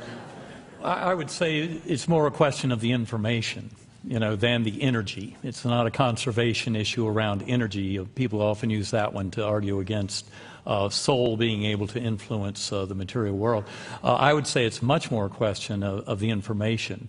Uh, and especially when you, as I said, the, for example, a, a, a very renowned skeptic and scientist, Carl Sagan, admitted that past life memories in children, the evidence for that is overwhelming. Oh, that's not true. And Come on, Carl that Sagan, is- please. He said that in his book, in his book, The Demon Haunted World, on page 302. He says exactly that. Period. I've read that book a hundred times.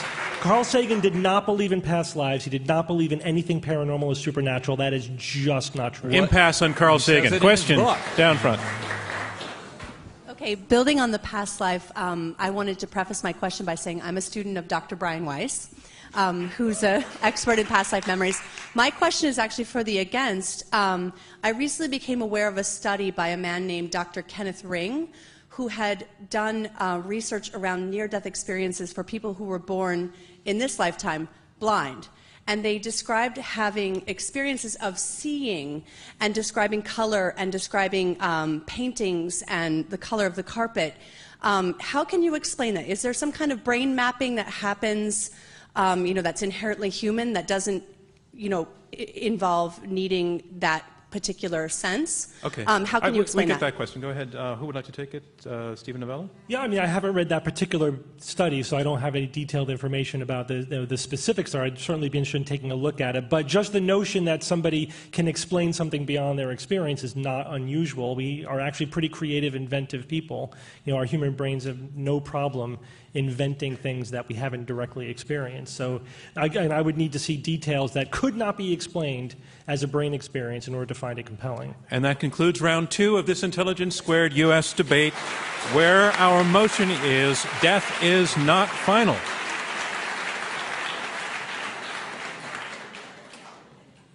And now we move on to round three. In round three, we will have closing statements by each debater in turn.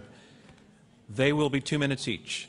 And remember how you voted at the beginning of the debate, because immediately after their closing statements, you will vote a second time, and the team whose numbers have changed the most in percentage point terms will be declared our winner. On to round three closing statements by each debater in turn. Our motion is death is not final, and here to summarize his position supporting the motion that death is not final, Eben Alexander, an academic neurosurgeon and author of the best selling book, Proof of Heaven. Well, I, I would like to um, go back to what Sean had said about how consciousness is very confusing to us, as is quantum mechanics. And I would put out there, I think they're related. There's a reason why they're both so confusing. And that's, you, you can chuckle, but in fact, that's what drove brilliant people like Einstein and others into mysticism.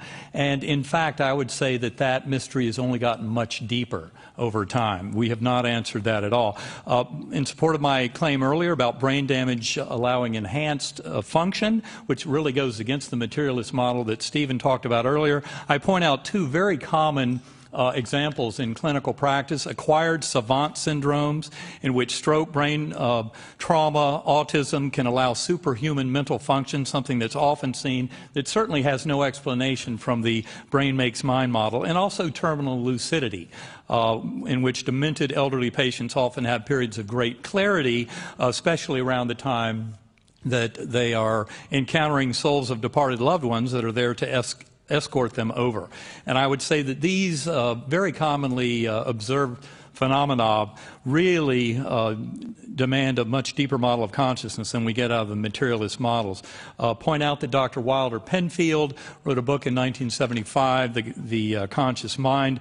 He probably still holds the record for having stimulated uh, the uh, brain in awake patients more than any other neurosurgeon, and never once did he duplicate any kind of situation of free will. He concluded very strongly that the mind consciousness is not created in the physical brain.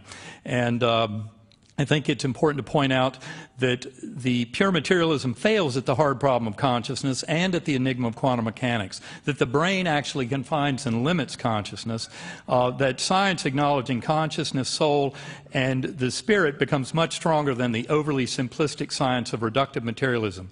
Death of the physical brain and body is not final. Thank you. Thank you, Eben Alexander.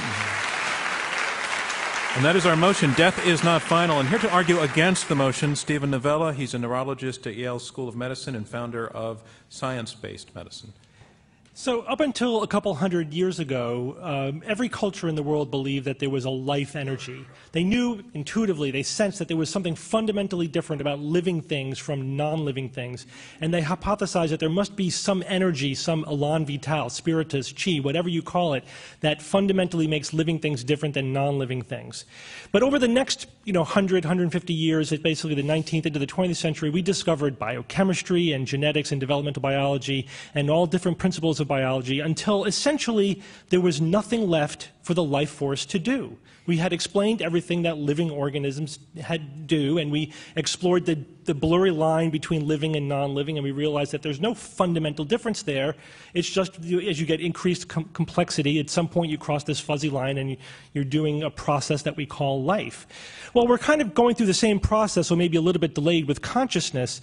You know, we, we understand that the brain causes consciousness. We certainly don't understand a lot about how it is produced exactly, but we're making progress. Our research paradigms are working quite well, thank you, and we're making lots of progress.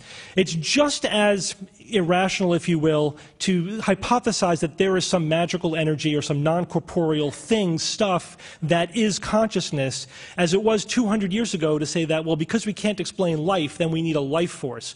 We don't need a brain force, a mind force, any more than we needed a life force 200 years ago. The fact is that the neuroscientific community is progressing relentlessly with the, with the paradigm that is materialist, reductionist. We're looking for neuroanatomical correlates of everything that the mind does, and that research program is very, very successful and is how well an idea advances in science is more telling about how valuable it is, how true it is, than what our current state of knowledge is. Our current state of knowledge is always going to be incomplete. It doesn't mean that our ideas are wrong or are weak. That's why you have to vote against this proposition. Thank you, Steven Novella. And the proposition is death is not final.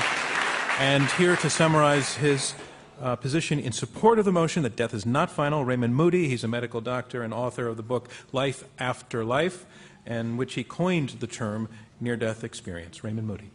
Uh, first of all, I want to say that to me, to this day, the notion of life after death is very counterintuitive. I think as a non religious person, I had no background in that. It never occurred to me as a young astronomy uh, buff that there might be something beyond this. I've been through a process now of 40 uh, plus years that finally drove me into this situation where I'm sort of forced to say, almost against my will, that death is not final. There is a life after death. Um, basically, what happened to me was that hearing thousands of people with near death experiences, hundreds of people with shared death experiences who had the identical experience we call a near death experience, except they weren't ill or injured. They were simply there at the bedside of someone else who died. And uh, I have seen joint transcendent experiences where, for example, a physician and a critically ill patient would have some sort of joint transcendent experience at the same time. That leads me to be forced almost into a position to say that I trust these people's judgment. It seems to me that they've been somewhere where I haven't been, and I can begin to put a little picture together of, um, of what they're talking about. So, for that reason, I would say um, I'm on board. I think there is life after death. So, vote, vote, vote for the afterlife. and. Uh, Thank you, Raymond Moody. Our motion is Death is Not Final, and here to summarize his position against the motion, Sean Carroll. He's a theoretical physicist at the California Institute of Technology and author of The Particle at the End of the Universe. When I was about six years old, I had uh, an emotional, formative experience that apparently many other people share similar things. I was in bed, you know, going to sleep, sort of thinking about the day and so forth, and I started crying. I was just bawling uncontrollably, so much so that my mom heard me from you know, her bedroom and came running in and said, What is wrong? And I said, uh, Someday our grandmom is going to die. And someday you're going to die, and someday I'm going to die. We're all going to die. And, you know, she had to explain, well, yes, uh, and, and so forth, and she had her own version of the story. And the reason I'm telling the story is because even as convinced as I am that death is final, I have absolutely no desire to belittle the people in the room who disagree, who feel the other way. This is an incredibly important central issue to our lives. I personally am convinced by the overwhelming scientific evidence from physics, from neuroscience, etc., that there is one world, the natural world. Biology is a process that can end, and death is and then final. And to me, that fact, the finitude of our lives, gives enormous poignancy and importance to the finite number of years that we have here on earth. Our lives here are not dress rehearsals. This is the act. This is the one performance that we get. That does not remove meaning or value from the lives we're leading now. It gives, it forces us to give meaning to everything we do because we only have a finite number of things to do. If evidence came in on the other side, I would change my mind quickly, as the evidence was good enough. But I think that we're past the point where it's a scientifically interesting question. I think that we know enough to conclude that death is final, and personally, I think that that is okay. Thank you. Thank you, Sean Carroll. And that concludes closing statements. So I have the results all in. Remember, we had you vote twice on this motion. Death is not final. Once before the debate and once again after the debate. And the team whose numbers have changed the most will be declared our winner. Here are the results. In the first vote, death is not final. 37% agreed with that. 31% disagreed with that. 32% were undecided. Those are the first results. Now, the second the second vote, remember, the team whose numbers have changed the most will be the winner. In the second vote, the team arguing for the motion, their second vote was 42%. They went from 37% to 42%. They picked up five percentage points. The team against the motion now. Five percentage points is the number to beat. The team against the motion, they went their first vote was 31%. Their second vote was 46%. That's up 15%. The team arguing against the motion, death is not final has won this debate, basically saying death is final. Sorry. Yes or no to this statement? Death is not final. Let's meet our debaters and the team arguing for the motion, Death is not final. Please, ladies and gentlemen, welcome Eben Alexander. And Eben, in a way, you are our founding story in this debate tonight. You are an academic neurosurgeon, 15 years on the faculty of Harvard Medical School, but in 2008 you got very, very sick. You went into a coma for seven days, your brain effectively stopped showing signs of life in the higher functions, and you came back and you said, I was there. I saw it. I've seen the afterlife. In one word, what did you see? What was it? Astonishing. Astonishing. And if you had heard somebody back before you had this experience make that same sort of claim, what would you have said? No way. At least not until I knew all the facts. Ladies and gentlemen, Raymond Moody. And Raymond, you are also arguing for this motion that death is not final. You're a psychiatrist and you have a medical degree, a degree, a doctorate in philosophy. Uh, you are described as the founder of the near-death experience. Uh, you coined that phrase in your book in 1975, Life After Life, in which you looked at more than 100 cases of people who had experienced clinical death and, and come back. Um, you've been looking at this now for decades, but it's interesting to us to note that your curiosity in this whole thing was piqued not by a religious conviction. What was it? No, I'm. Could, can you just move a little closer to your yeah. mic?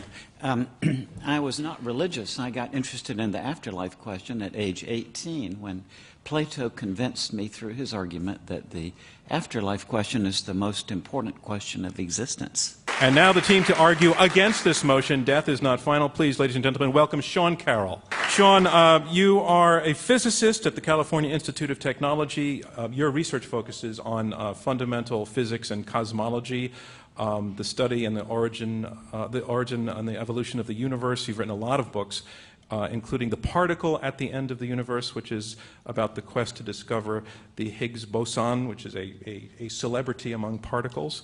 Um, and and uh, you, you have described yourself as a naturalist. So, for the purposes of understanding where you're coming from, what, what does that term briefly mean?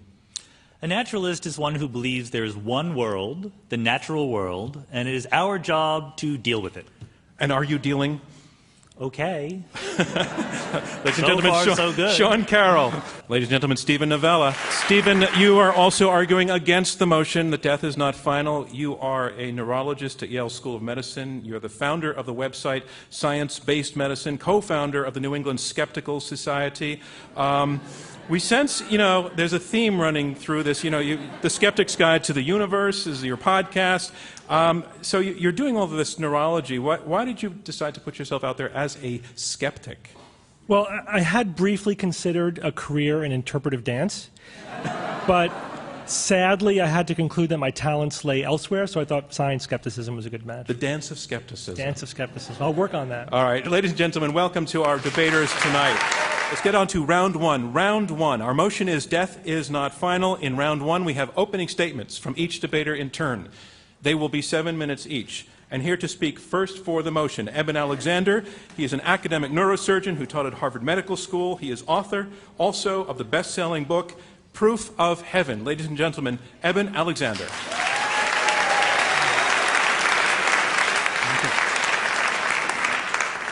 Thank you very much, John. Um, I've been an uh, academic neurosurgeon for over 20 years, and I fully believed in reductive materialism, our modern conventional science. In fact, six years ago, I would have been sitting over on that side of the stage with uh, Steven and Sean. Now, at that time, I believed that the brain creates mind and consciousness, that we have no free will, that it's birth to death and nothing more. Then something happened. I now know that those ideas are false. In November 2008, I was driven rapidly into coma due to a severe bacterial meningoencephalitis, which I much later came to realize is the perfect model for human death. Destruction of the neocortex, the outer surface, the human part of the brain. Sadly, almost no one returns, much less recovers, from a case of meningitis as severe as mine. The last evidence of any activity in my neocortex was in the first hour or so in the emergency room, and afterwards I demonstrated only very pathological reflexes, including severe brainstem damage. Given my gram negative bacterial meningoencephalitis, which I was found to have, and my descent into coma over three and a half hours, I had at best a 10% chance of survival at the very beginning. It only got worse. Mine was an absolutely lethal meningitis. Uh, my white cell count in my cerebrospinal fluid was 4,300 and a protein of 1,340. Both those numbers should be zero. Uh, in fact, this, the glucose in that fluid normally 60 to 80, and maybe as low as 20 in a severe case of bacterial meningitis, went all the way down to 1. None of the consultants in my case from Harvard, UVA, Duke, or Wake Forest had ever seen that severe a case. My doctors never found a cause. The scan showed diffuse destruction of my neocortex with blurring of the gray white junction over all eight lobes of my brain. No area was spared. Later in the week, off all sedation, my neurological ac- activity was almost nil with what's called a Glasgow coma scale, which in everybody in this room would be 15, and a corpse is 3. My scale was ranging from 3 to 5. This was a very severe meningitis. On day seven, with no residual neocortical function, brainstem badly damaged, reflecting the deadly nature of my illness, my doctors recommended, uh, because I was down to a 2% chance of survival by that point, with a best case scenario that if I survived, I'd spend a month or two in hospital, be transferred to a nursing home, and die in a coma months later. Hence, they recommended just stopping the antibiotics. My journey deep in the coma began in a very primitive, unresponsive realm, which I later called the earthworm's eye view the best consciousness my brain could muster, soaking in pus. My prior neuroscientific view would have dictated that the next step would be one of no awareness at all. Yet it was just the opposite, like the blinders coming off. I ascended into far more crisp, vibrant, ultra real realms of pure joy, love, and understanding, realms I called the gateway and the core, far too rich and complex to fully describe. Soon thereafter, I started to return to this world but with my brain so wrecked that I had no memory of words or language, nothing of Eben Alexander's life before coma, any religious concepts, etc. Yet I knew the entire ultra real odyssey that I had just been deep in coma, one so extensive it seemed to last for months, even though it had to fit within seven days of Earth time. Words came back to me over hours and days, childhood memories over weeks, and knowledge of brain, mind, consciousness of more than 20 years' experience in neurosurgery came back over two months. My doctors have no explanation at all for my full recovery. Other cases of medically inexplicable healing do occur in transcendental near death experiences, like those of Anita Moorjani and Dr. George Rodonaia. In the 36 hours after emerging from coma, I was in and out of a delusional, paranoid, psychotic nightmare that was completely different not even in the same ballpark when compared to the ultra reality of the deep coma experience in the gateway and the core. Those experiences deep in coma seemed way too real to be real. My doctors, believing that the brain creates consciousness and knowing the destruction they had seen in my brain, had told me that I could not have had any such experience in the depths of coma and therefore just to forget about it. I knew I'd experienced something, and sensed that it had to do with a fundamental flaw in the models of consciousness and the, and the role of the neocortex. Early on, I tried to explain all of this as a brain based phenomenon based on my old paradigm, writing it up as a report for the neuroscience literature. It's important that when I was emerging from that coma, I saw six faces at the very end, and these were faces that were very important in helping me to realize that the entire coma experience happened between days one and five of my coma and not at the very end. Over those weeks of recording my experience after coma, I also began to talk with my doctors and review my medical records, especially neurological examinations and the scans, and came to realize just how deathly ill I was and how there was no way that such an ultra real, crisp, and vibrant experience could have happened in my physical brain. Modern neuroscientific ideas of the neocortex and consciousness would dictate that I should have experienced nothing at all beyond that earthworm's eye view. I wrote the entire experience down, 20,000 words that I wrote over six weeks, before I read anything about near death experiences. I'd never read that literature before. Initially, I was very worried that the memories would fade.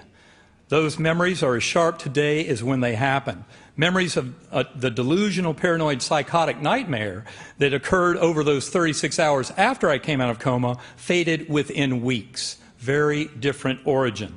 I had never read the NDE literature before and was shocked to find that the experience seemed hyperreal in over half of NDE accounts, and the memories do not fade like those of hallucinations, dreams, confabulations, or drug effects. People recount their own NDE stories to me by the hundreds, usually starting, I've never told anyone this before, but even from over 50 years ago, as if they happened yesterday. I came to see that the similarities in the NDE and afterlife literature far outweigh the differences, and that commonalities across cultures, beliefs, continents, and millennia indicate an underlying constant reality of that realm. Many of the petty differences are due to our being so restricted by our earthly language. This is not like we're describing a trip to Disneyland. Personal biases and religious beliefs might taint the telling of those stories, but the core similarities remain striking. Eben My Alexander, I'm sorry, and thank you very much. Your time is up. Thank you, ladies and Eben Alexander. Our motion is death is not final, and here to speak against this motion Sean Carroll. He is a physicist at the California Institute of Technology. He is the author of several books, including The Particle at the End of the Universe. Ladies and gentlemen, Sean Carroll. Thanks, John. It's a pleasure to be here defending such a cheerful and uplifting proposition as death is, in fact, final. Driving around the streets of Los Angeles, where I live, you can't help but notice these gigantic billboards telling us all men must die. It turns out they're advertisements for Game of Thrones, but I thought that they were advertisements for our event here tonight. It's a similarly, you know, not quite as happy message as we might like to accept. Fortunately, we can open Dr. Alexander's book. It begins with a quote from Albert Einstein. Einstein says, A man should look for what is, not for what he thinks should be. To which I would like to reply, Exactly. We human beings are not always perfectly rational. Let me tell this shocking news to you. We are bundles of cognitive biases, and one of the strongest biases we have is that we go easy on propositions that we would like to be true. What we should, in fact, do is go especially skeptical on propositions that we would like to be true. And even I want it to be true that death is not final. But we should hold something like that to an extraordinarily high standard of evidence. So, what are we actually being asked? Asked to accept? What should we expect the world to be like if death were not actually final? For one thing, I would expect that the existence of souls persisting in the afterlife should be perfectly obvious. It should be just as clear that heaven exists as it is clear that Canada exists. But in fact, it seems that the souls persisting in the afterlife are kind of shy. They don't talk to us, except sometimes they do talk to us. I would expect also that when people did have near death experiences and really talk to other souls in the afterlife, that they would come back with consistent, interesting, non trivial stories to tell. But in fact, when Christians have near death experiences, they often say they've met Jesus. When Hindus have near death experiences, they meet Hindu deities. There was a little girl who went, had a near death experience, and she met a portly man wearing a red cap. She met Santa Claus. And we are told by some defenders of this that, well, Jesus dressed up as Santa Claus so as not to scare the little girl. Possibly that is true, but we should be asking are there other plausible explanations? I especially think that if we went and had a life after death and then came back to visit us, bringing some message back, that message would, should be as useful as possible.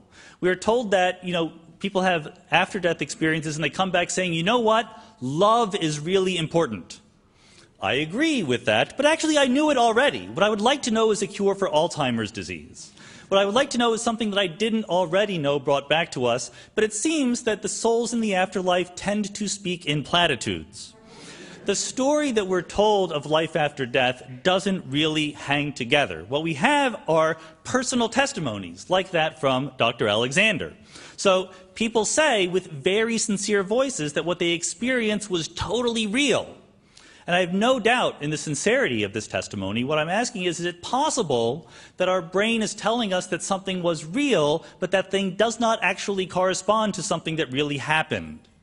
And when you ask it that way, the answer is obviously yes. Our brains are fooling us all the time. Steve Novella, my partner, will tell us about the neuroscience behind this, but basically, our brains are not like video recorders or photo albums. They're more like little theaters. When we try to remember something, it's much like imagining something that hasn't happened. It's more like running a script than reviewing a tape. And that's why when we dream, when we hallucinate, when we have a near death experience, it is just as vivid as something that actually happened. In the legal community, they will tell you that eyewitnesses who tell you that have a certain sincerity and conviction that their eyewitness testimony is true, that conviction is essentially uncorrelated with how true it actually is. The vividness or reality of a memory does not tell us that it was really real. So, what is going on? We had this informal idea that there is a soul that sort of is a blob of spirit energy that takes up residence near the brain and drives us around like a soccer mom driving an SUV. But we've known for a long time that this picture doesn't make sense. Back in the 1600s, Princess Elizabeth of Bohemia carried on a correspondence with Rene Descartes, who was trying to defend mind body dualism. And Elizabeth demands, know how could something immaterial like the soul affect something material like the brain or the body? Descartes was never able to answer that question, and these days, science has gone way beyond that. We know a lot more about what is happening. We can literally see memories being formed. We can see the chemical changes in neurons. So, the soul is supposed to also have memories. How do the memories get from the neurons to the soul? We know that brains often have false memories in them. Do the, does the soul in the afterlife carry those false memories, or are they somehow corrected after death? We even know the laws of physics by which the atoms, the electrons, the elementary particles in our brains behave. We know the equations that the electrons that are responsible for, for chemistry obey. And there's no ambiguity in these equations. They could always be wrong. It is always possible to say, well, we just don't know what is going on. That's fine. But what we have is the evidence of every experiment ever done telling us that these equations are correct. To overcome that, we would need very, very strong evidence. Just one experiment telling us how the soul is pushing around the chemicals in our brain, but we don't have that. What science says is that life, or consciousness, is not a substance like water or air. It is a process like fire. When you put out the flame on a candle, the flame doesn't go anywhere, it simply stops. And that is what happens when we die. So we're faced at the end with two scenarios. One scenario says that everything we think we understand about the behavior of matter and energy is wrong in a way that has somehow escaped notice by every experiment ever done in the history of science. And instead, there are unknown mechanisms that allow information in the brain to be transferred to blobs of spirit energy that persist after we die and can talk to the other blobs of spirit energy, but don't talk to us except sometimes they do. The other scenario says that physics is right and that people under stress sometimes have experiences that are not actually real. On the basis of rationality, it is not a difficult decision to choose between these two options. On the basis of emotion, it might be difficult, but we need to have the courage to live life here in the actual world. Thank you. Thank you, Sean Carroll. And here's where we are. We are halfway through the opening round of this Intelligence Squared U.S. debate, where our motion is death is not final. We have two debaters, two against two, arguing for and against this motion. I'm John Donvan, your moderator. We have heard from the first two debaters and now on to the third. Here to argue for the motion, death is not final, Raymond Moody. He's a medical doctor with a PhD in philosophy, the author of numerous books on near death experience, including the seminal Life After Life. Raymond Moody. Thank you. Um, since 1965, I've had the honor of interviewing thousands of people from all over the world who had near death experiences. And unless you've been hiding in a cave somewhere for the last 40 years, you've all heard about this that people on the brink of death tell us that they leave their bodies and they go into a beautiful light, which they find very difficult to describe. And in that light, say that relatives or friends of theirs who've already died seem to be there to meet them and to help them through this transition. Um, and they have panoramic memory in which they see all of the events of their lives displayed around them in a sort of holographic panorama which they witness instantaneously. My assessment from 40 something years of working on this, and I will underline that word assessment, is that in the words of the proposition, death is not final. But I want to translate a little bit to say that what I'm trying to say with that is that, in my opinion, at death, personal consciousness is taken up into a more inclusive state of reality or frame of existence in a way that people who go through this find it very difficult to put into words. One of the most common things they say is, however articulate they may be, they say that this experience is ineffable or indescribable. Um, I want to emphasize here something at the very beginning, and please hear me out on this one. Um, I have decided, or sort of assess, assess the situation that there is a life after death. However, I want to say anybody who tells you in the year 2014 that that is a scientific matter is not thinking clearly. In 2014, The question of life after death is not yet a scientific question. I am not a parapsychologist, and I think parapsychology is a pseudoscience. So, there's a different frame of reference to think about this, though, and that is that reason is a much bigger category than science. Scientific method is about, say, 400 years old. Um, reason itself is about 2,300 years old, a much bigger uh, institution that includes history and philosophy and literary theory and the law, in addition to scientific thinking. So, what I'm suggesting to you is that the solution to the afterlife question is not going to come initially from science, but rather from, I think, the whole area of critical thinking and logic. As I look back on the debate that on near-death experiences that's gone on for almost 2,500 years now, what strikes me is that a big part of the problem is that the format of the debate is basically twisted. Since Democritus and Plato fought this out 2,300 years ago, the way we've debated this is we say that some people look at these near death experiences and they, they take it at face value, as Plato did, and they say, well, this is an indicator of an afterlife. Other people, uh, Democritus being an example, said, as Democritus famously did, there is no such thing as a moment of death, implying that, therefore, that what he's getting at is that these near death experiences are just the patient's perception of the winding down process of the body. The trouble with this whole debate is that that format of debate itself is incoherent. We can't keep debating it that way. Let me give you an indication of why.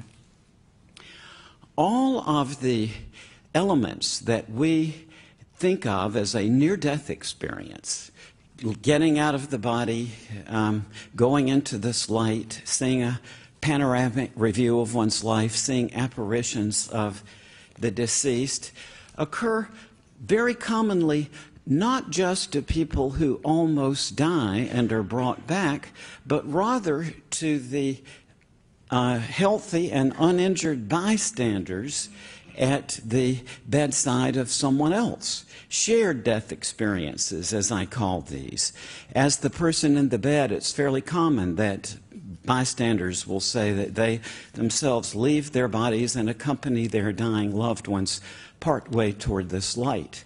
Or they see the um, apparitions of relatives and friends of the dying person came, come into the room. So, my question is if the causation of these near death experiences is the uh, physiological distress and the uh, events going on in the brain, why should the bystanders who are not ill or injured have identically the same experience? So I think that we're into a situation with this now where really the problem has sort of outgrown grown the format that we use to debate about it. Um, in my opinion, we really are on the verge of breakthroughs in the genuine, and I will underline genuine, rational investigation of the question of life after death. And in that um, context, I think there are two people in history who have, more than anyone else, um, I think, stated this afterlife question very clearly and the major problems that come with it. Plato being one who said that whenever we talk about the afterlife, there's always going to be the narrative aspect, a story, because we've got to have some sort of story just to get thought about this kind of thing started. But also, we've got to have some sort of set of concepts to link the, these narratives with the statement of uh, that there is life after death. I think that's coming. I think that we are on the uh, brink of a breakthrough in rational study of an afterlife, but it's not going to come initially from science, but initially from the realms of logic and critical thinking. So thank you very much. Thank you, Raymond Moody. And our motion is death is not final. And here is our final debater against this motion, Steven Novella. He is an academic clinical neurologist at Yale University School of Medicine, as well as the host of the weekly science podcast, The Skeptic's Guide to the Universe. Ladies and gentlemen, Steven Novella. Thank you. Thanks, John. I want to say thank you to uh, the Intelligence Squared debate for inviting me here. It's, it's an honor to be here. So I'm going to convince you that you need to vote against this proposition because if you vote for the notion that death is not final, then you, that by necessity means that you're voting against the conclusion, the scientific position, that the mind is what the brain does. The mind is a process of the brain itself. You would have to reject that in order to accept that the mind exists without the brain. Well, how sure are we, how confident are we, in, as a scientific conclusion, which is what we're here to talk about, that the mind is essentially the brain? Well, we're very, we're very certain about that. We're as confident of that as we are of anything in science. We have a mountain of neuroscience, countless experiments that look for the neuroanatomical correlates of consciousness, of, of, the brain functioning, of the mind. Everything that you think, feel, believe is something that's happening inside the brain demonstrably. But let's take that as a scientific hypothesis. If the mind is entirely the brain, then what must also be true? Well, then, if the arrow of causation is going from brain to mind, then if we change the brain, that should change the mind. And if we damage the brain, that should damage the mind. And if we turn off the brain, that should turn off the mind. Well, if all of those uh, propositions are correct, that strongly supports the notion that the mind is essentially the brain. And that is, in fact, exactly what scientists have discovered over and over again over the last one to two centuries of neuroscience. I can give you, I'm a neurologist, so I can give you tons you know, of examples from my own personal clinical experience, but let me just tell you about one very interesting neurological phenomenon called Capgras syndrome. This is a syndrome in which, um, well, I'll give you, I'll, I'll, back up a little bit. So uh, when you're looking at, let's say, the face of your wife or your spouse, um, what's falling on your retina is just shapes and shadows and colors and lines. But the, your brain has to construct that into an actual image. But then it also has to give meaning to the image. It has to tell you that these shapes are, in fact, a face. And then another part of the brain tells you, well, that's not just any face, that's the face I know well. That's the face of my spouse, the face of my wife. Now, assuming, however, you have feelings about your wife, let's assume that, then there's also a connection between that part of your brain that tells you that that face is your wife to the limbic system. That's the emotional part of your brain. And that connects your emotions, your feelings about your wife to that image. When you see your wife, those feelings are connected to it. These are all circuits that are happening demonstrably in your brain. Now, in Capgras syndrome, that last connection is broken by a stroke, by damage, by something. So when someone sees their spouse, they recognize them as their spouse, but the feelings aren't there. So, what do people conclude when this happens? Well, it's interesting. When people have brain damage, it affects how their brain constructs their image of reality. Because, as, my, as uh, Sean was saying, our, we're not, we don't have a tape uh, recorder in our minds, in our brains. We are constructing reality, an image of reality, all the time. It's a very active process. Um, and when, you inter- when that process breaks down, then your construction of reality breaks down. So, and you usually don't have insight into that, especially initially, because we tend to assume that our experience is a real continuous experience. That's also something your brain constructs. So, what do people conclude when they have this syndrome? That circuit is broken in their brain. They conclude that their wife, their spouse, must be an imposter. That's the only explanation that they can come up with. There's, in fact, a documented case of a husband who murdered his wife because he was convinced that an impostor had replaced his wife you know, with an exact, uh, you know, it makes no sense, but that's the only way his brain could make sense of its broken construction of reality. And there's endless examples of this. There's no limit. There is no practical or functional limit that neuroscientists have encountered so far to the degree to which we can mess with your mind by messing with your brain.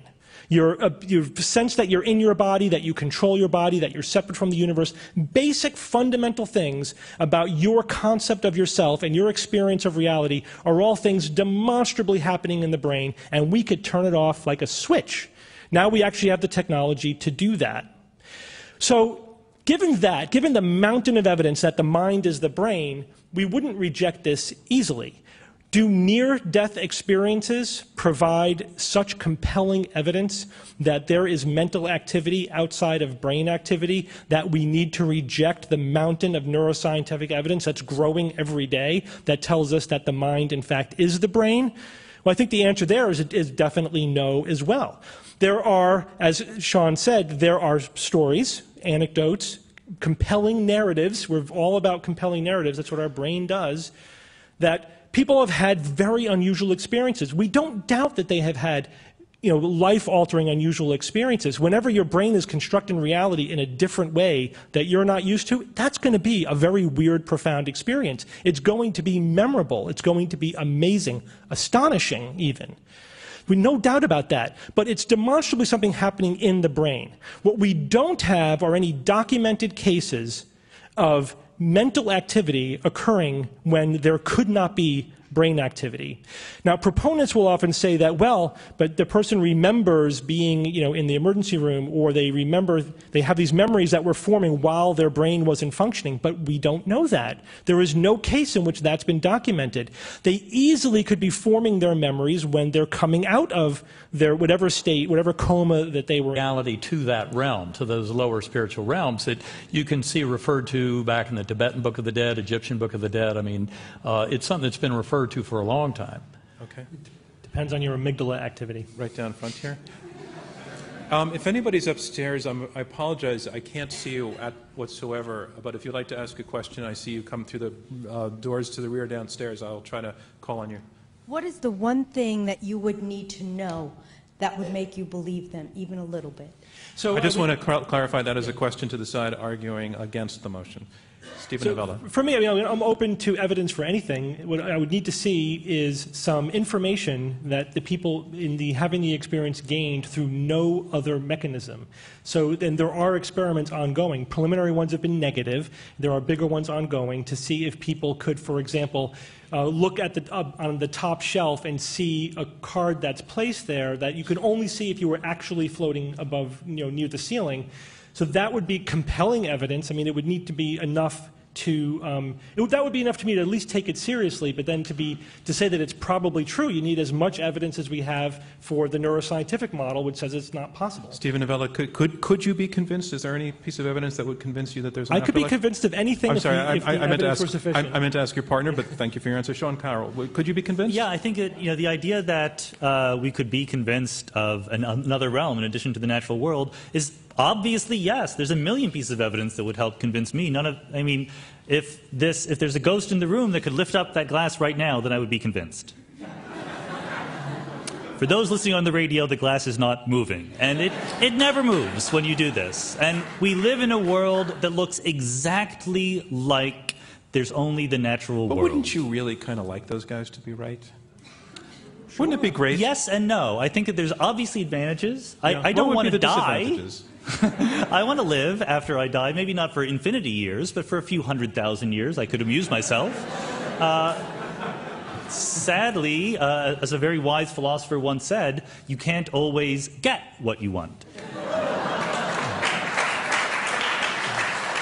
I want to remind you we are in the question and answer section of this Intelligence Squared US debate. I'm John Donvan, your moderator. We have four debaters, two teams of two, arguing it out over this motion death is not final. Let's go back to questions.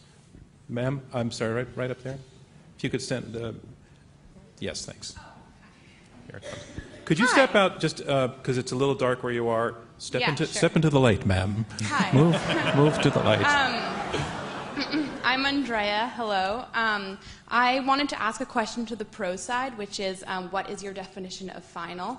Because in your um, description of what it was like in this, what you called sort of a transcendental state, you were feeling things, but it didn't seem as if you could do anything, as if you were really talking to anyone. So I wanted to know what your definition of final is. How will that help you vote on the motion seriously? Um, because, you know, if the motion is death is not final, so there if they have to convince me that there's something beyond when the body you know decomposes into the earth that doesn't end what we know to be life. So I wanted But to I know- think, I, I'm going to pass because I think that's the thrust of their entire argument is that, that unless I'm really missing your point, they, they, all they have argued is that death is not final. Am I missing something? I just, oh, I ho- hope for some clarification on their definition of final, but if it seems as if that's I, I'm going to pass on it because I think. Right down there? Okay.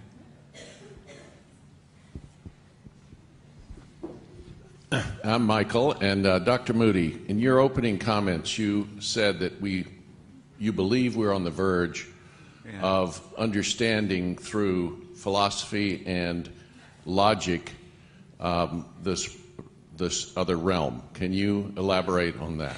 Yes, I think that probably of uh, about one out of five people I meet socially, and when the conversation develops, well, what do you do? Oh, I write books, near-death experience, and so. on.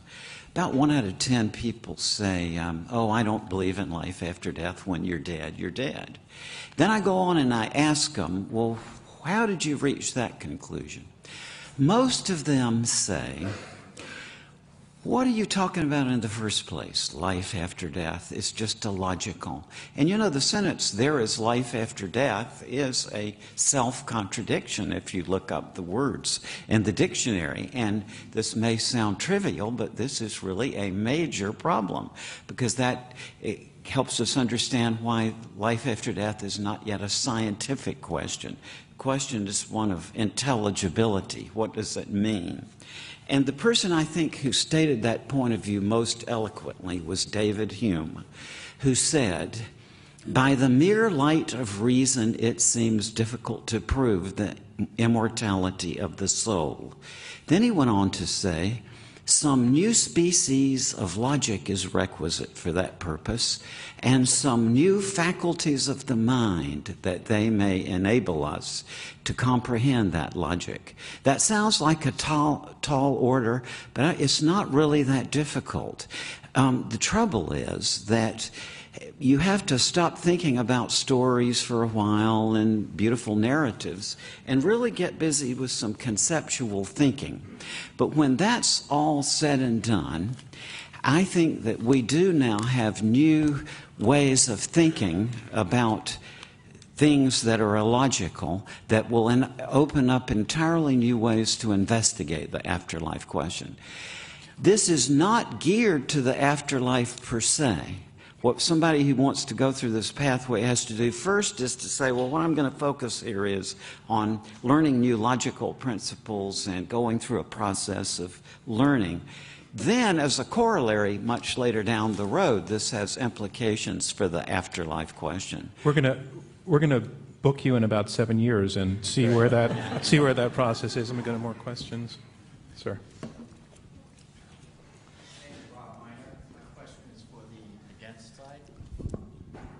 Thank you.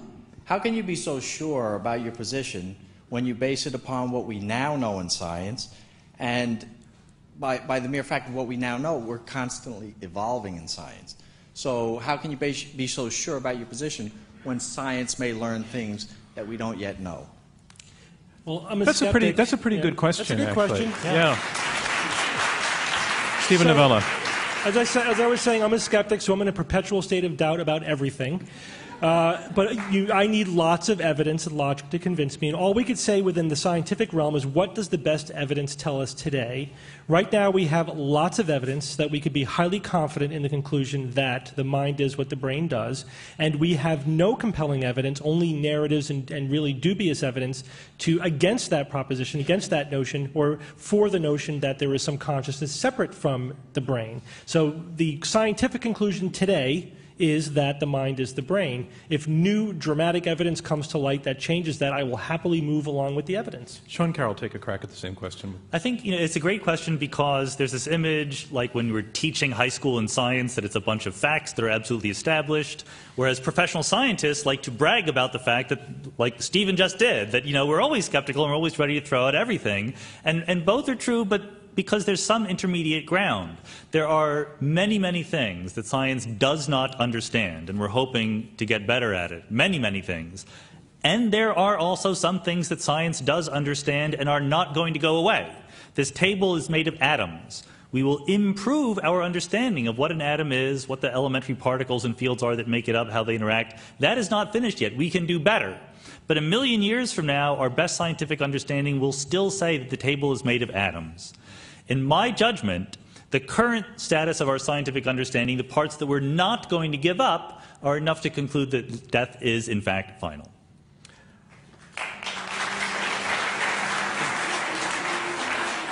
I want to remind you we are in the question and answer section of this Intelligence Squared US debate.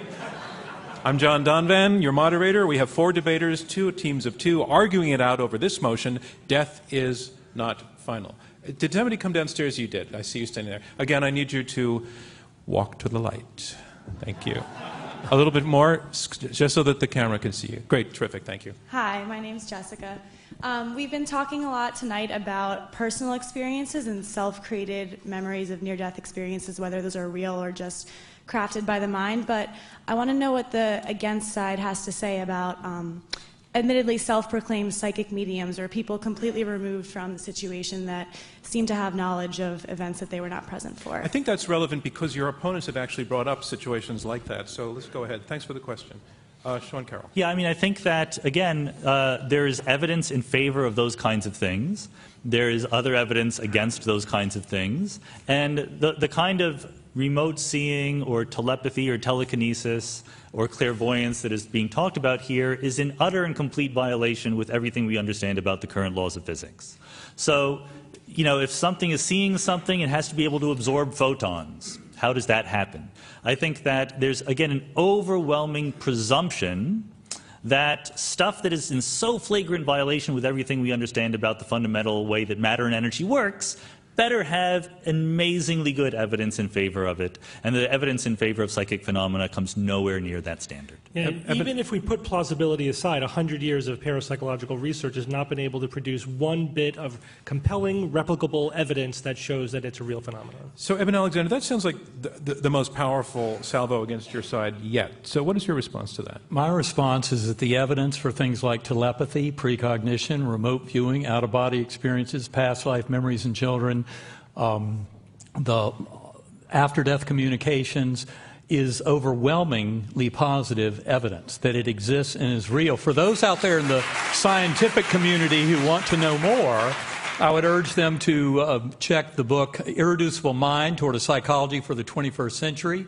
800 pages of very uh, dense uh, science and data and analysis that shows the absolute reality of non local consciousness in all of those forms. It shows that we have a long way to go in beginning to understand anything about consciousness, and that the model that brain creates consciousness and that we can only know things locally with our connected senses is completely false and disproven by a lot of scientists, not just in that book and those who participated in that, but in uh, multiple other books. And I mean, for example, the afterlife. Um, uh, experiments, uh, Dr. Gary Schwartz. That's a pretty powerful documentation of the power of mediums. There two, are two sentences. Very... What were those? For we have something concrete for those of us who have not read the book, which is a lot of people, I think. I'm sorry. Uh, of, of Gary Schwartz's experiments, give two sentence example of what he did uh, basically did a scientific assessment of mediums and their ability to work, especially with. Uh, uh, and, and, showed what? Established what? Well, established that they they could uh, communicate and know things that only could be known by uh, the departed relative. Okay, so your opponents are saying that there are scientific experiments that prove paranor- paranormal activity is valid, happens, it's real. Steven Novella. Demonstrably not true. I mean, everything you said is the exact opposite of the truth. I mean, Gary, Gary Schwartz's methodology was massively flawed. It's been absolutely picked apart by other scientists. He essentially allowed himself to be bamboozled by charlatans and by cold readers. Not, he did not produce anything reliable, anything that I would consider to be credible scientific evidence. Okay. So that's All the right, bottom I, line. Yeah. Um, Eben, do you want to respond to that, or should we move on? Well, simply uh, to say, I guess, you know, at this kind of thing, maybe we're at a bit of an impasse because okay. I think that his uh, methodology was actually quite solid. I've met mediums who have convinced me very strongly they're absolutely real. All right, there are moments in these debates where we reach impasse and we move on, and we have just done that. Ma'am. Uh, Mike is, microphone is coming to you. Hi, my name is Stephanie. So I, it feels like we are conflating two different questions, and one is whether the mind and consciousness come from the brain, and the other is whether there exists an afterlife. And I don't understand why the existence of an afterlife would show up in the brain. and so I'm wondering this is for the, I- I'm going to clarify you- that against. for you and then move on. The argument Okay. that's being made by the team arguing against the motion is that life stops when the brain dies, and there, that's why those, those two things have become conflated. And I, and I think it fits, it fits pretty, good- pr- together pretty well. Right down front, ma'am. Uh, you need the mic too. Uh, my name is Jane, and my question is for the opposing side. We have energy while we're alive. Where does our energy go when we die? It doesn't go away. It's just in your atoms. They're just not continuing to live. It's exactly the same place the flame goes when you put out the candle. Um, does the other side want to? Does the other side want to take on the candle argument, or? I, I would say it's more a question of the information, you know, than the energy. It's not a conservation issue around energy. People often use that one to argue against uh, soul being able to influence uh, the material world. Uh, I would say it's much more a question of, of the information. Uh, and especially when you, as I said, the, for example, a, a, a very renowned skeptic and scientist, Carl Sagan, admitted that past life memories in children, the evidence for that is overwhelming. Oh, that's not true. And Come on, Carl that Sagan, it- please. He said that in his book, in his book, The Demon Haunted World, on page 302. He says exactly that. Period. I've read that book a hundred times. Carl Sagan did not believe in past lives. He did not believe in anything paranormal or supernatural. That is just not true. Impasse on Carl He says it in Sagan. Question down front. Okay, building on the past life, um, I wanted to preface my question by saying I'm a student of Dr. Brian Weiss, um, who's an expert in past life memories. My question is actually for the against. Um, I recently became aware of a study by a man named Dr. Kenneth Ring, who had done uh, research around near death experiences for people who were born in this lifetime blind and they described having experiences of seeing and describing color and describing um, paintings and the color of the carpet. Um, how can you explain that? Is there some kind of brain mapping that happens, um, you know, that's inherently human that doesn't, you know, involve needing that particular sense? Okay. Um, how can we- you explain We get that? that question. Go ahead. Uh, who would like to take it? Uh, Steven Novella? Yeah, I mean, I haven't read that particular study, so I don't have any detailed information about the, the, the specifics there. I'd certainly be interested in Consulting is certainly not ad hominem because the message is that nobody can be trusted. I think that that is part of what science has taught us that if someone makes an extraordinary claim, the very first questions we should be asking ourselves are number one, is there a different, simpler, alternative explanation? And number two, how would we know if our purported explanation were false? How would we disprove it? How could we possibly test this idea?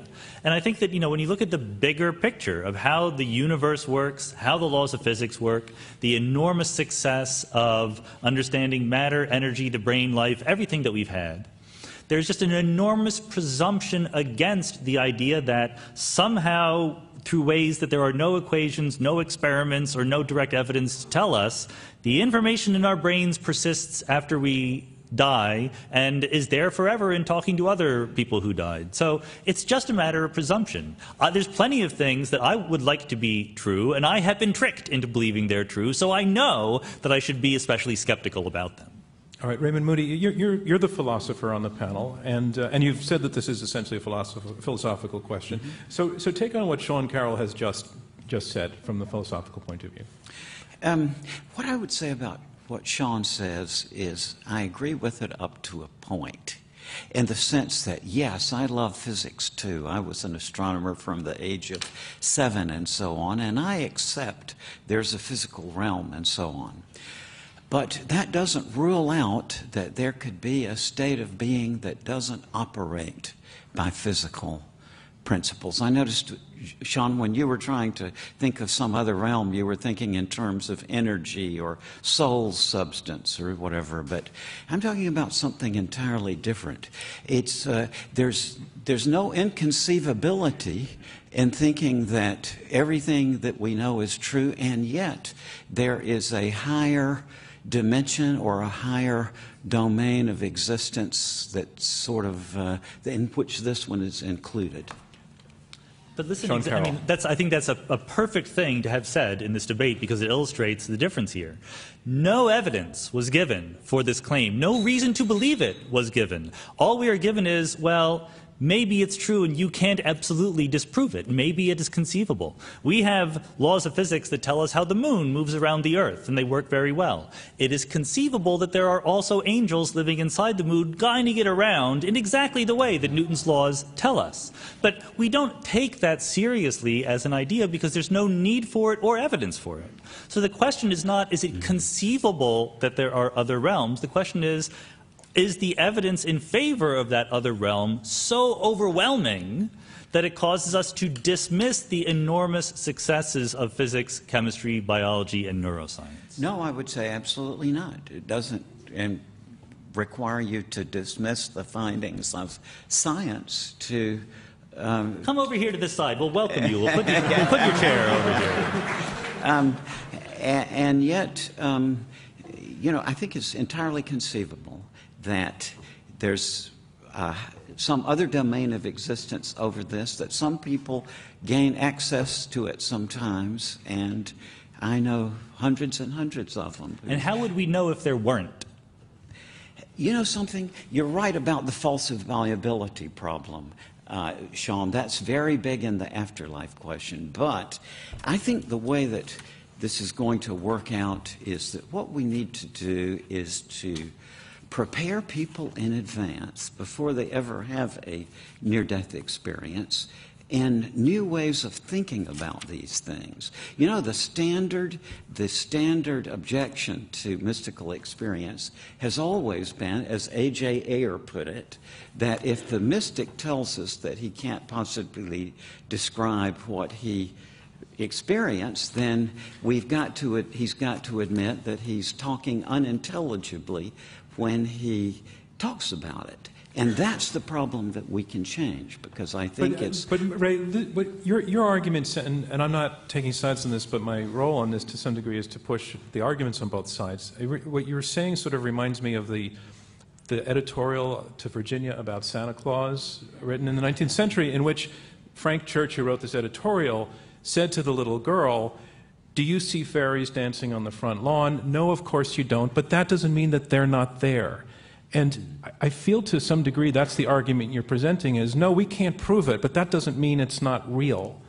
What my argument. And I just need you again to come close to the Yes, mic. yes. Thanks. Um, my argument is that when thousands and thousands of people whose judgment I trust and other, um, in all other circumstances, a lot of medical Okay, friends. Give us one example, because I know you've written about this. Examples where people who were not the person lying in the bed, but other people in the room had an ex- experience, and let the other side respond to that. Okay. Um, And just lean into that mic. A, um, an artist I met a couple of years ago, Jeff Olson by name, um, a very well known graphic artist, had a horrific car crash in which he lost his leg. He, uh, his wife was killed instantly, and he had a profound near death experience.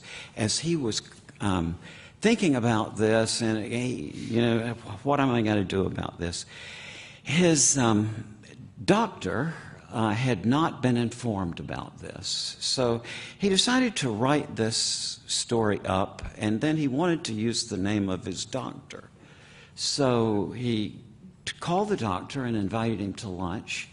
The doctor came, and um, Jeff told him the story of his near death experience, whereupon the surgeon said, Well, I've never told anybody this, but that night you were in the hospital, I knew that you weren't going to die. Your wife was talking with me in the, uh, in the surgery room, and the, the His, sur- dead, his dead wife. Yes, and so did the uh, the scrub nurse. Also had an experience of uh, vivid uh, sense of presence and seeing the.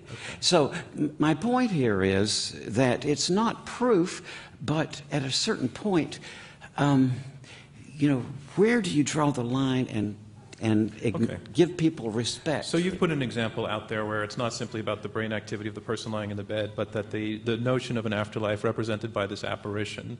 We are talking about ghosts now, and and and um, I'm sorry that sounded pejorative, but we are talking about something that a lot of people would challenge as incredibly implausible, but you're, you're, taking, you're making the argument seriously, so I want your opponents to respond to it seriously. Well, you know, we, we want to know what's really, really true, not just what seems to be true, what we want to be true. And, you know, again, our brains are narrative generating machines. It tries to construct a story that makes sense to us, appeals to us, stream, puts everything together seamlessly. And you know, we can have what we believe, we have memories of experiences that mean something to us but don't really relate to reality. We know this is true. If you accept that level of evidence, and this is not about respect, I believe that people have these memories of these experiences. That's just about the interpretation Wait, Steven, you're, you're are you talking about the, the, the, scrub nurse and the doctors? Anyone. I mean, think about it. But, the, but these, these scrub nurse and doctors were at separate, met this woman at separate places, right? On the But- same night.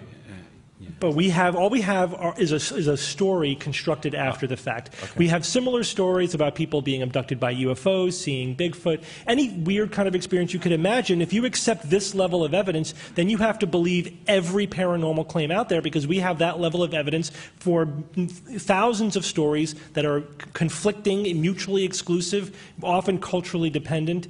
It's simply not acceptable. And we know, we know for a fact that the brain can absolutely manufacture those memories, come to absolutely believe a story like that. That's absolutely not true. I want to go to audience questions, and while you're raising hands, I just want to ask very, very quickly for Eben Alexander do we know that the brain can manufacture those experiences? I would say the brain does not create consciousness. That is something a lot of scientists, those interested in neuroscience, are far along that pathway now. It's called the hard problem of consciousness. In fact, no neuroscientist on earth can give the first sentence to explain the mechanism by which the physical brain creates consciousness. We don't have to know how the brain creates consciousness in order to know that it creates consciousness. That it creates consciousness, we absolutely know. Just like we don't have to know how the Earth generates gravity to know that it generates gravity. There's no question we have gravity, even though we haven't untangled the deepest understanding of every possible thing. So, yes, we, we don't know exactly how the brain creates consciousness,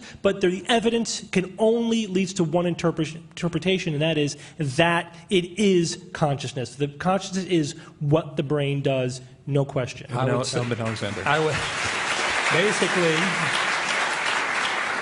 there, as I said, no neuroscientist on earth can give the first sentence to explain a mechanism by which the physical brain gives rise to consciousness. But not knowing the Is mechanism. that, is, that, is that true? No, I, I don't. I disagree with that because there are there is consciousness research. There are researchers who are doing a very good job of making progress of understanding consciousness as a neurological phenomenon. We certainly are not all the way there of understanding exactly what it is. It's a very difficult thing not to crack. But there, but that, that we are not at the. But not knowing the mechanism is not the same thing as saying it's not possible or it's impossible or we need a non-physical We, we, mechanism. given We that point, but don't. is he, is he accurate that we don't know the mechanism by which the brain gives rise to consciousness? Well, it's not a black or white thing. We have some knowledge. We don't have complete knowledge about it. It's like saying, do we understand? Do we understand everything about genetics? No, but we know that DNA is the molecule of But inheritance. not That's one not questionable. sentence. S- s- Give the first sentence of how you would trace from the physical brain that it gives rise to consciousness. Let's Just go to some audience sentence. questions. Right down front here. Uh, a mic will come to you. I didn't explain this before. Mike will come to you, and if you can stand up, tell us your name, and then um, give birth to a perfectly formed question. Hello. Hello. Hi, my name is Arthur Kramer. Uh, my question is to the panel arguing for the motion. Uh, if a person was to take a strong hallucinogen, like say um, LSD, and they were to have a very um, distorted experience, uh, hallucinations, would you accept their version of reality, or would you just merely dismiss it as them having uh, an experience because of That was a perfectly formed question. And very relevant. Um, which of you would like to take it? Uh, Raymond Moody. Um, you know, I think William James was kind of right about that, that whatever experience one has, one can say that by definition almost there's some correlated state of the central nervous system. Um, the question of reality is an entirely different question. Can I imagine that maybe by taking some substance, someone could gain access to some other kind of reality? Yes, I can imagine that. However, Uh, yeah, I think it's always, it boils down to the particular, doesn't it? I think you have to look at a much broader uh, set of information to make a, but generally speaking, yeah. I don't think this side needs to add to that. I think your, your side was in the question. Yeah. Sir. Yes, uh, you were starting to stand up. Well, you too. I'll come Uh, back to Richard Spencer, I've got a question for Eben, and specifically about um, the issue of other people having experiences. Uh, Eben, in your experience, you seem to have met your biological sister who you had never met before or seen a picture of, and I gather from your book that you actually drew a picture of her or somehow had a, a picture done before you subsequently had an actual picture of who she was, which you learned later. Uh, I'd like you to describe that a little bit and say if, in fact, I, I'm going to pass on that question because it's, it's not going to, I don't think it's going to advance our understanding of whether science relates to this or not, but thanks very much. Ma'am in the center there. Um, is your book on sale in our lobby? I like always being able to say that. Um, I have no idea. It should be out there somewhere. If you have, if you have no idea, that's a no. it's downloadable, and, there's, and then the story that, that was just brought up can be, uh, can be read in the book in great and compelling detail. Ma'am. Okay. Hi, my name is Eleanor, and um, I have a question for this side as well. I did read both of your books, by the way, which are super interesting, but it left me with the question, um, which hasn't been answered yet, is so why wouldn't everyone that experiences a death experience or a near death experience have one of these experiences? Right, it's Why- about one out of ten or one out of eight, something right. like that. Why Who wouldn't comes more back? people have? And why is there no mention of hell? It's all about heaven, which could be a good thing, but I think this side has an answer to that question. Eben Alexander, would you like to take that? Well, I, I think um, that to me is a very interesting question. The number out there is roughly 15%, 20% of people who have a medical situation that might lead to a near death experience. About 15 to 20% seem to report them. That's a historical figure that I think is probably low because it comes from an era when we weren't asking people to volunteer that kind of information. I think the actual number uh, is probably higher. Uh, if I had just come back from my earthworm eye view, uh, you know, that very prolonged initial phase, uh, that very dumbed down consciousness that I think was the best my brain could do, uh, I would have had a hellish NDE. Uh, it turns out that hellish NDEs are probably what? Just three or- remind people? NDE stands for near a near-death experience. Uh, and the hellish ones are, are quite uh, rare by comparison, three or four percent. My own feeling is that that is because they're incomplete. That that souls don't go in with, with quite the umph, and that they exactly in my case, I went in with plenty of umph and went through that phase and up into the much higher levels of ultra reality. I think the other side should get a crack at this question of why it's only one out of eight or one out of ten people who Yeah, have I these mean, experiences. that's Steven Novella. perfectly compatible with the neuroscientific hypothesis of these experiences. Depends on what parts of your brain are working and not working at any given moment. What's the mechanism of your being in a coma or unconscious? Was it traumatic? Was it lack of oxygen? You know, we, we could put pilots in a centrifuge, spin them up until they pass out. A lot of them have near-death experiences too. They're not near death, but we're depriving their brain of blood flow, uh, and you know, with similar numbers, very you know, profound, memorable, vivid experiences. So it just depends on the particulars of what parts of the brain are working or not working. And, no, and nobody's seeing hell. Phew. Some people have. There is, there is hell. Yeah, some people There, there is. As I said, three or four percent of people have hellish NDEs. I believe. I Ah, believe there's actually a real. in. Dr. Alexander even says he had a prolonged recovery. We have no idea what was happening in his brain during that period of time. When people are in a coma, there's still some brain activity. There are animal experiments showing that sometimes even during an acute stress, there could be even a burst of neural activity. Who knows what kinds of astonishing memories are occurring there? We have a reality testing module in our brain, a circuit in our brain that says this feels real to me. And that testing module could break down, and then things, you don't test reality, it just seems hyper real. Every element of a near death experiment, experim- uh, experience can be duplicated, can be replicated with drugs, with anoxia, with lack of blood flow, by turning off circuits in the brain. Every single component is a brain experience that we can now reproduce, and we are zeroing in on the exact circuits in the brain which reproduce them. That's why you must vote against this proposition. Thank you. Thank you, Steven Novella. And that concludes round one of this Intelligence Squared U.S. debate, where our motion is death is not final.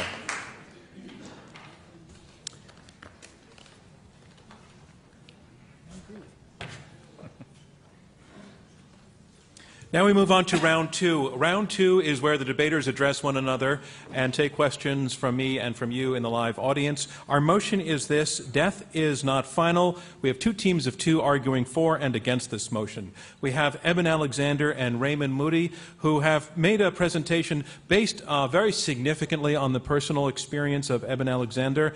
Uh, it's an argument based on one very, very compelling anecdote of a guy who's been there. He has seen it, and he is not a gullible guy and never was. He was trained as a scientist. He comes back saying that consciousness is something that is a lot bigger than the brain, that what he experienced could not uh, be explained by brain activity, uh, especially given the illness and the state of illness he was in when his brain was functionally non functioning.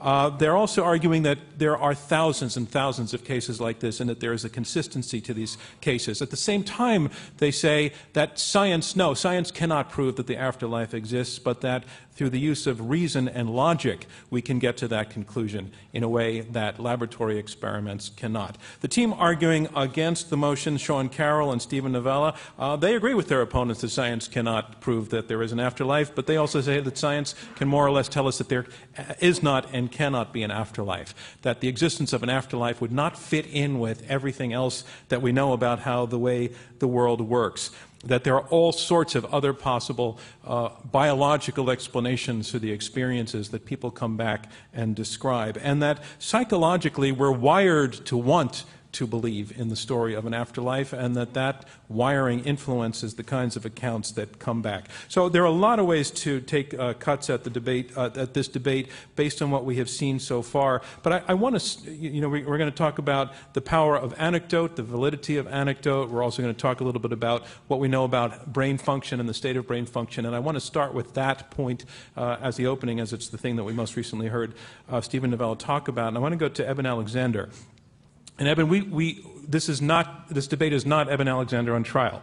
Uh, we agree with that. But you, you're the one with the experience. You've had, the, I think uh, you also, uh, your partner, Ray Moody, did you have enough uh, near death experience? No, okay. Uh, I didn't either. Um, just for the record. Um, Eben, uh, your, your opponents are arguing that what you said you experienced can be explained by, by what we already know about the brain uh, that, as they put it, you had a real experience about something that was not real. And I think we all understand the logic of what they're saying. That could be the case. Could it not be the case? Well, I think the important thing to point out is uh, I get asked to give a lot of talks at medical groups, uh, neurosurgical and other surgical groups, physician groups, um, because they realize the power of the medical situation. And I think this is what certainly grabbed me and challenged me within weeks after my uh, coma as, I, as my knowing of brain mind consciousness came back and I started to review the records to reveal just how sick I was.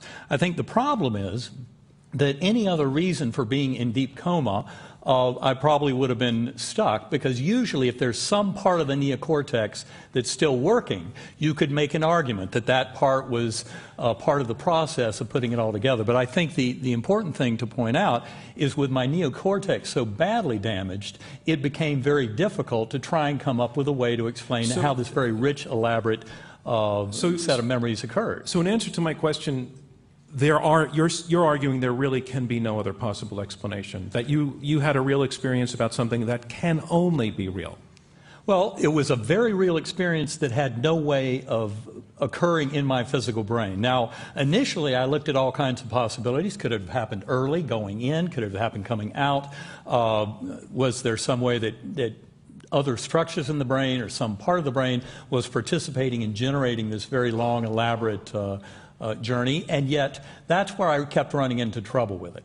Okay, um, let's let's bring it over to Sean Carroll then, where, where your opponent's uh, your opponent Eben Alexander is saying that what he experienced can only be explained um, as as a real experience. Um, and uh, Sean Carroll, why don't you respond to that? Well, I think that uh, Steven can talk about the specifics that might have been going on in the brain, but my emphasis is on we weighing two different comprehensive pictures here. We have a personal testimony from someone who says he experienced something and it's very real, and says that, well, we can't imagine, even as a neurosurgeon, he just doesn't know what could possibly have been going on in his brain that would make that happen.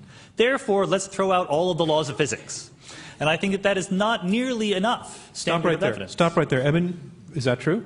No, that's not at all true. In fact, uh, they still teach quantum mechanics, right? Uh, they do. Good, uh, because I could teach it right I think now. it's important to point out, from my point of view, what drove the founding fathers of that field into mysticism was the fact that getting at the very uh, depths of trying to understand subatomic reality, um, they were uh, led to believe that consciousness, the observing mind, actually played a role in the unfolding of what was being observed. And I think that that mystery, to my uh, satisfaction, has not really been solved in a way that says that the concerns of people like uh, de Broglie and uh, Dirac, uh, Einstein, uh, Bohr, and others.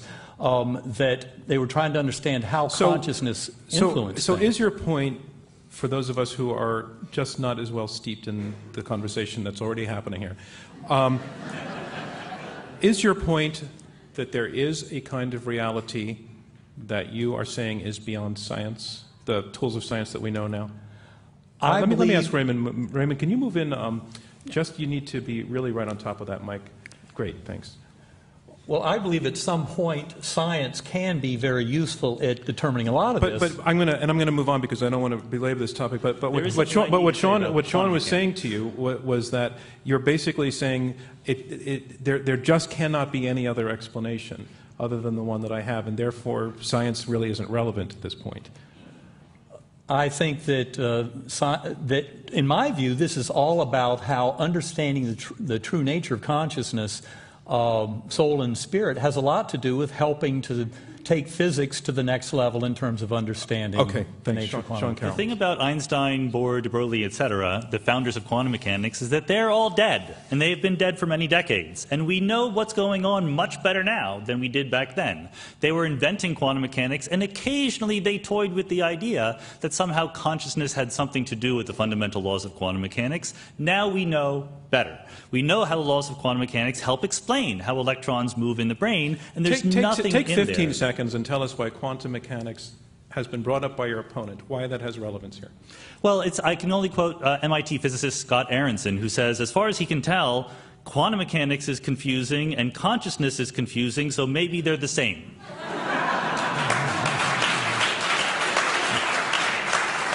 Raymond Moody, let's bring you into the conversation. Um, you know, really, um, I think that in reality, what we're dealing with here is not a scientifically decidable issue, but a philosophical question. And what it's called is the mind body problem. Probably first articulated in the West by Pythagoras, but there have been many, many different uh, theories of it. The one that's current in the neurosciences is called epiphenomenalism, which says, in effect, that there is no independent reality to what we experience as consciousness, but it's a secondary byproduct of the primary reality, which is the brain and the electrochemical events going on in the brain. In my opinion, that's a philosophical statement, It really. And my answer is, I don't know. I think the I think the uh, mind-body problem is still unresolved. All right, let's go to your uh, opponent, um, Steven uh, Yeah. Novella, who specializes in whether, Yeah, so- whether the mind is in the brain or not. I, I think, you know, Dr. Alexander said that the experience could, that he remembers, again, I don't doubt he has a memory of a profound experience uh, that he could not have occurred as he, as he was coming out of his, of his coma, but he you have no basis for that statement, I don't think. That you, you have no sense of time. Your brain also constructs your sense of time.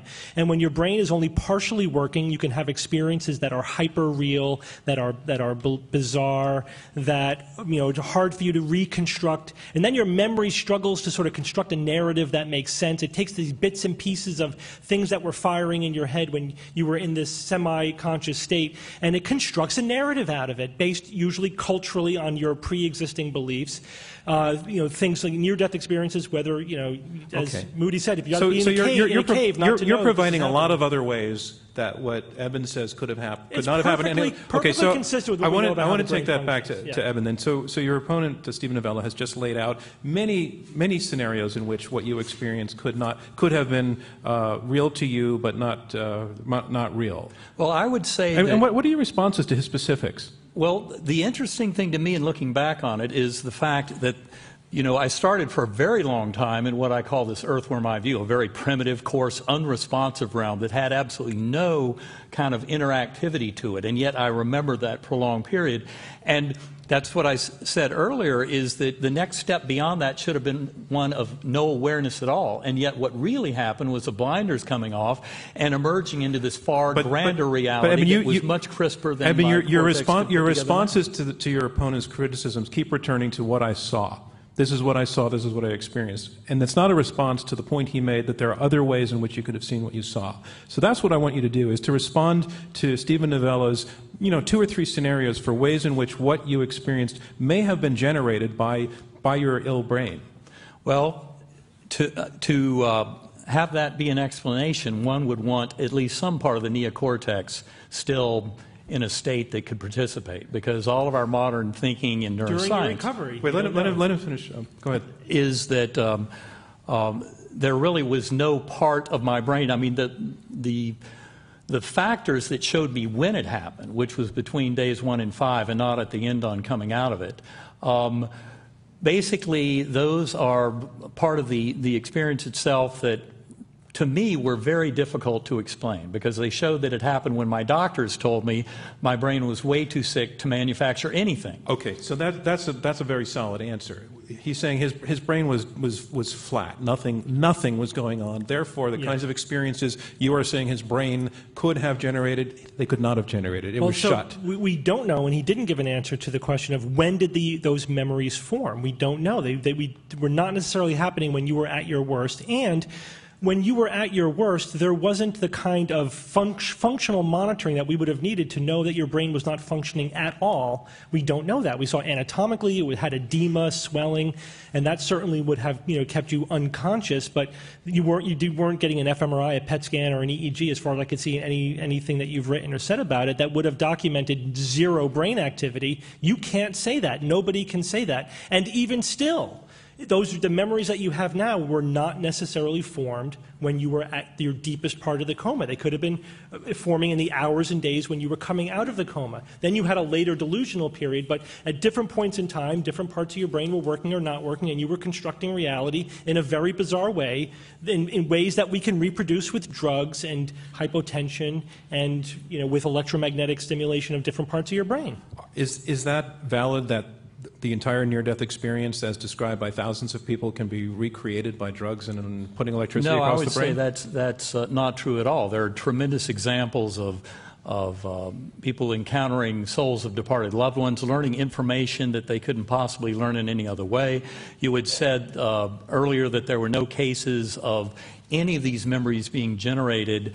Uh, you know, when the when the brain was out, and yet there are examples of that where the brain, people under uh, deep anesthesia with complete circulatory arrest, things like that, where they do have uh, some astonishing stories of getting information that it doesn't seem to be any other way that they could have gotten it. So those cases are out there.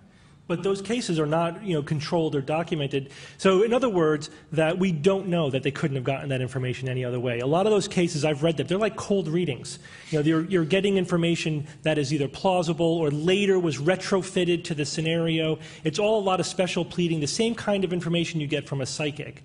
It's not controlled scientific information. There are, in fact, attempts at putting controls in place, like putting uh, playing cards on top of a shelf that could only be viewed if you were actually floating above the ceiling. And to the extent that those have been done, no one has been able to demonstrate any information that w- could only have been obtained while they were extracorporeal, floating above their body. And by the way, we could make you float above your body.